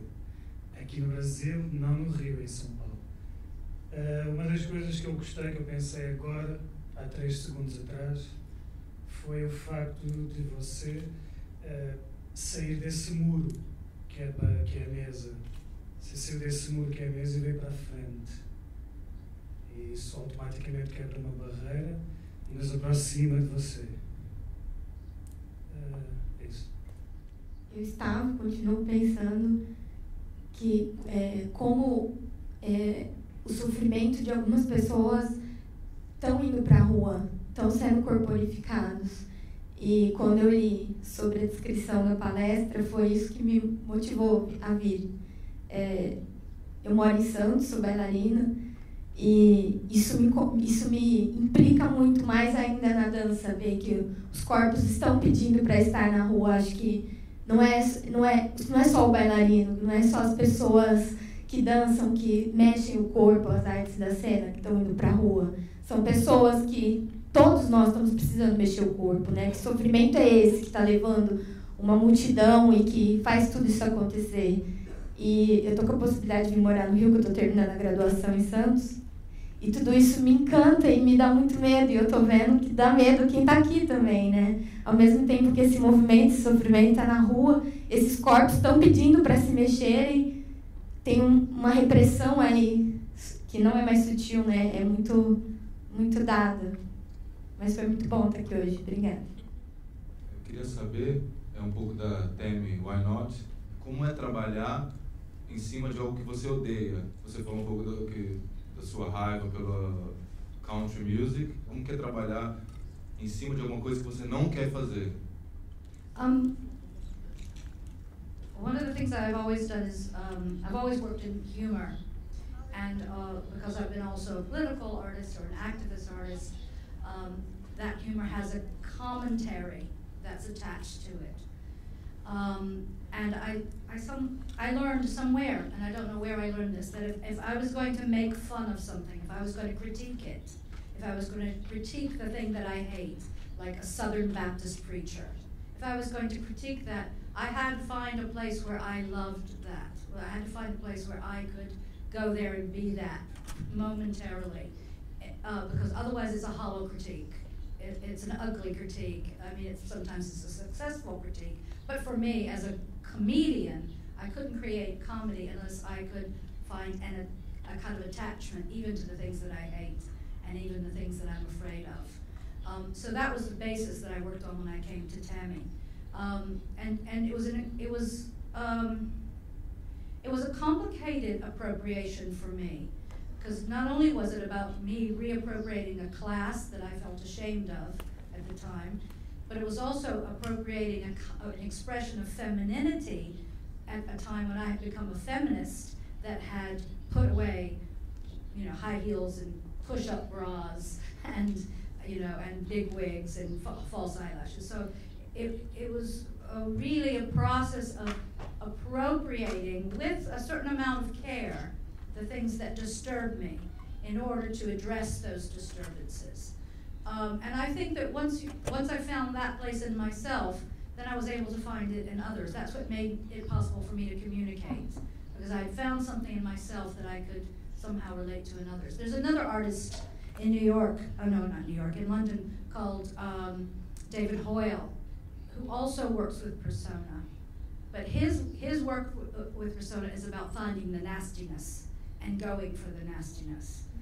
Uh, I think my work with persona is finding a kind of commonality and trying to work with the commonality. Sometimes that commonality is shyness or fear. I, I tremble. I mean, that's why I started the long table, is because I had spent too many times in a, a, a an audience like this tr- trembling because I wanted to say something and I was afraid. So, uh, so they're, they're, they're very different ways. I think the thing with persona that's different from character, which I associate with the theater, is that with the persona, I never lose myself. I stay connected to myself and what I think, what I feel, as opposed to what my character would feel. We're the same person. I don't know if that answers your question. I also just, quick while I have the microphone, um, the thing about the artist in the protest, um, I did the domestic terrorism project. I, I did that project during Occupy in New York, but not in the same area. I would take it to a different part of New York, and I dressed in a red coat. I carry a red laundry basket. I put up a laundry line, and I hang the laundry. And then I leave a little card that says, commit an act of domestic terrorism, hang your laundry in public. There's no other political comment attached to it. And, but as a result, because of the context of Occupy, uh, people were always asking me, what are you protesting?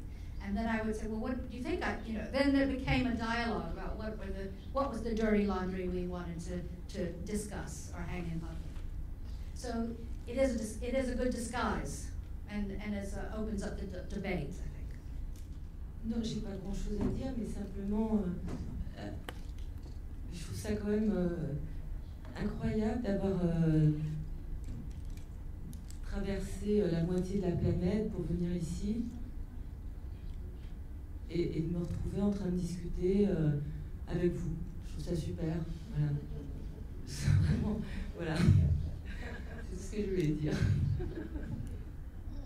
Um, um comentário rápido, que eu falei da, da roupa da Temi, mas ela está usando o meu casaco. Você também está vestida com uma. Você também se vestiu para vir aqui falar com as pessoas. Você também está protegida de alguma maneira. Quando começou a conversa, ela disse que estava com frio. Aí eu falei. Aí eu emprestei o casaco. Então, assim, você também está protegida de.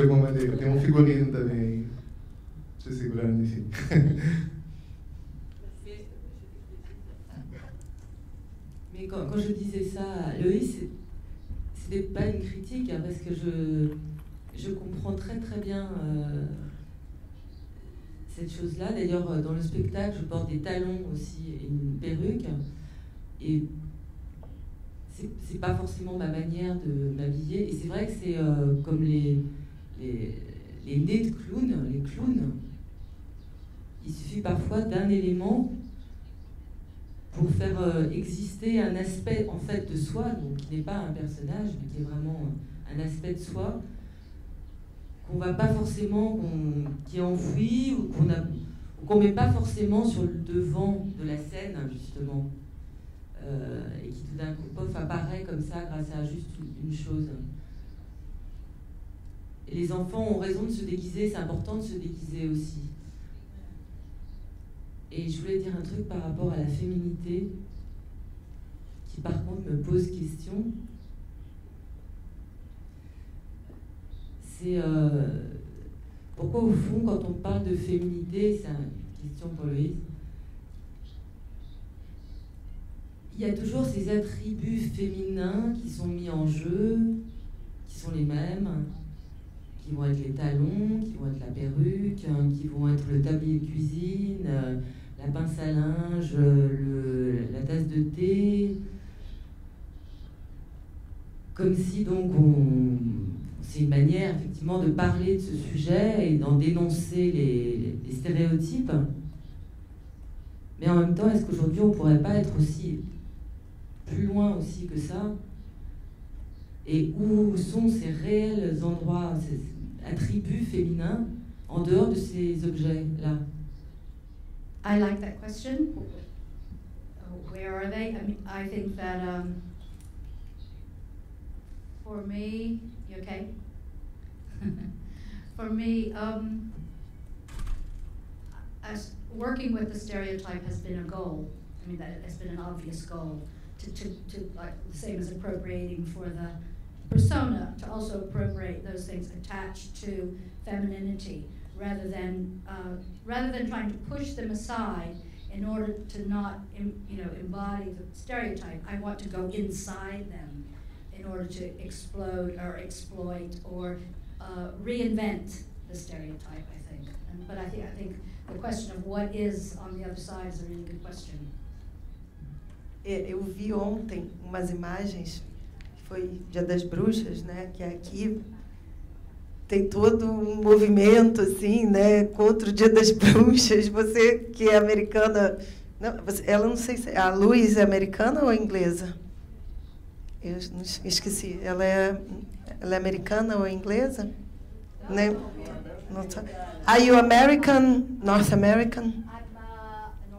Ah, é, porque aqui tem toda uma coisa, ó, não comemor, não vamos comemorar o Halloween, porque porque, né, que América Latina, você sabe, né? É, não, assim, é, todo o passado, né, as ditaduras e tudo mais.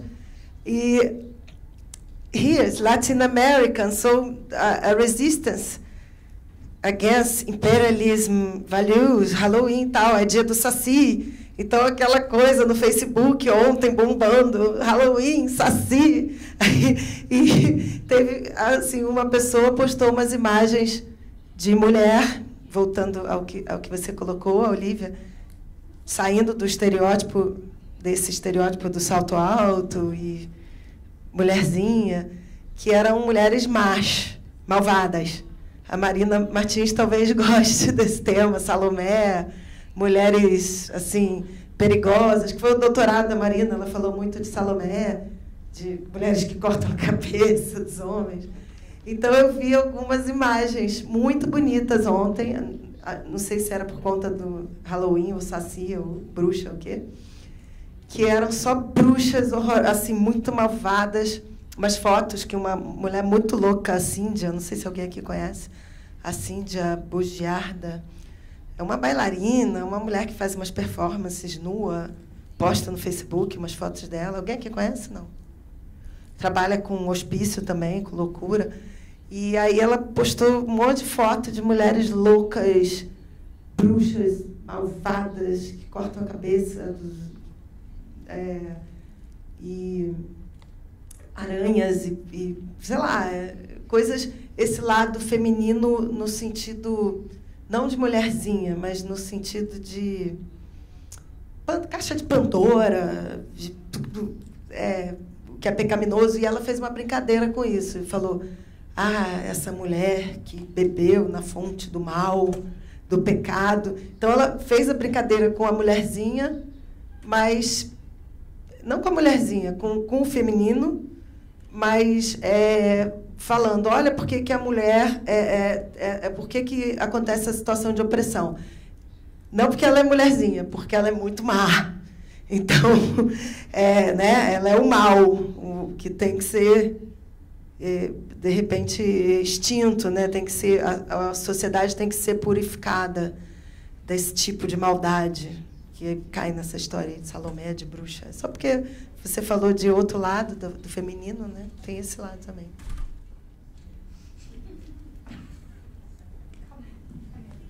I think we'll end on that lovely note.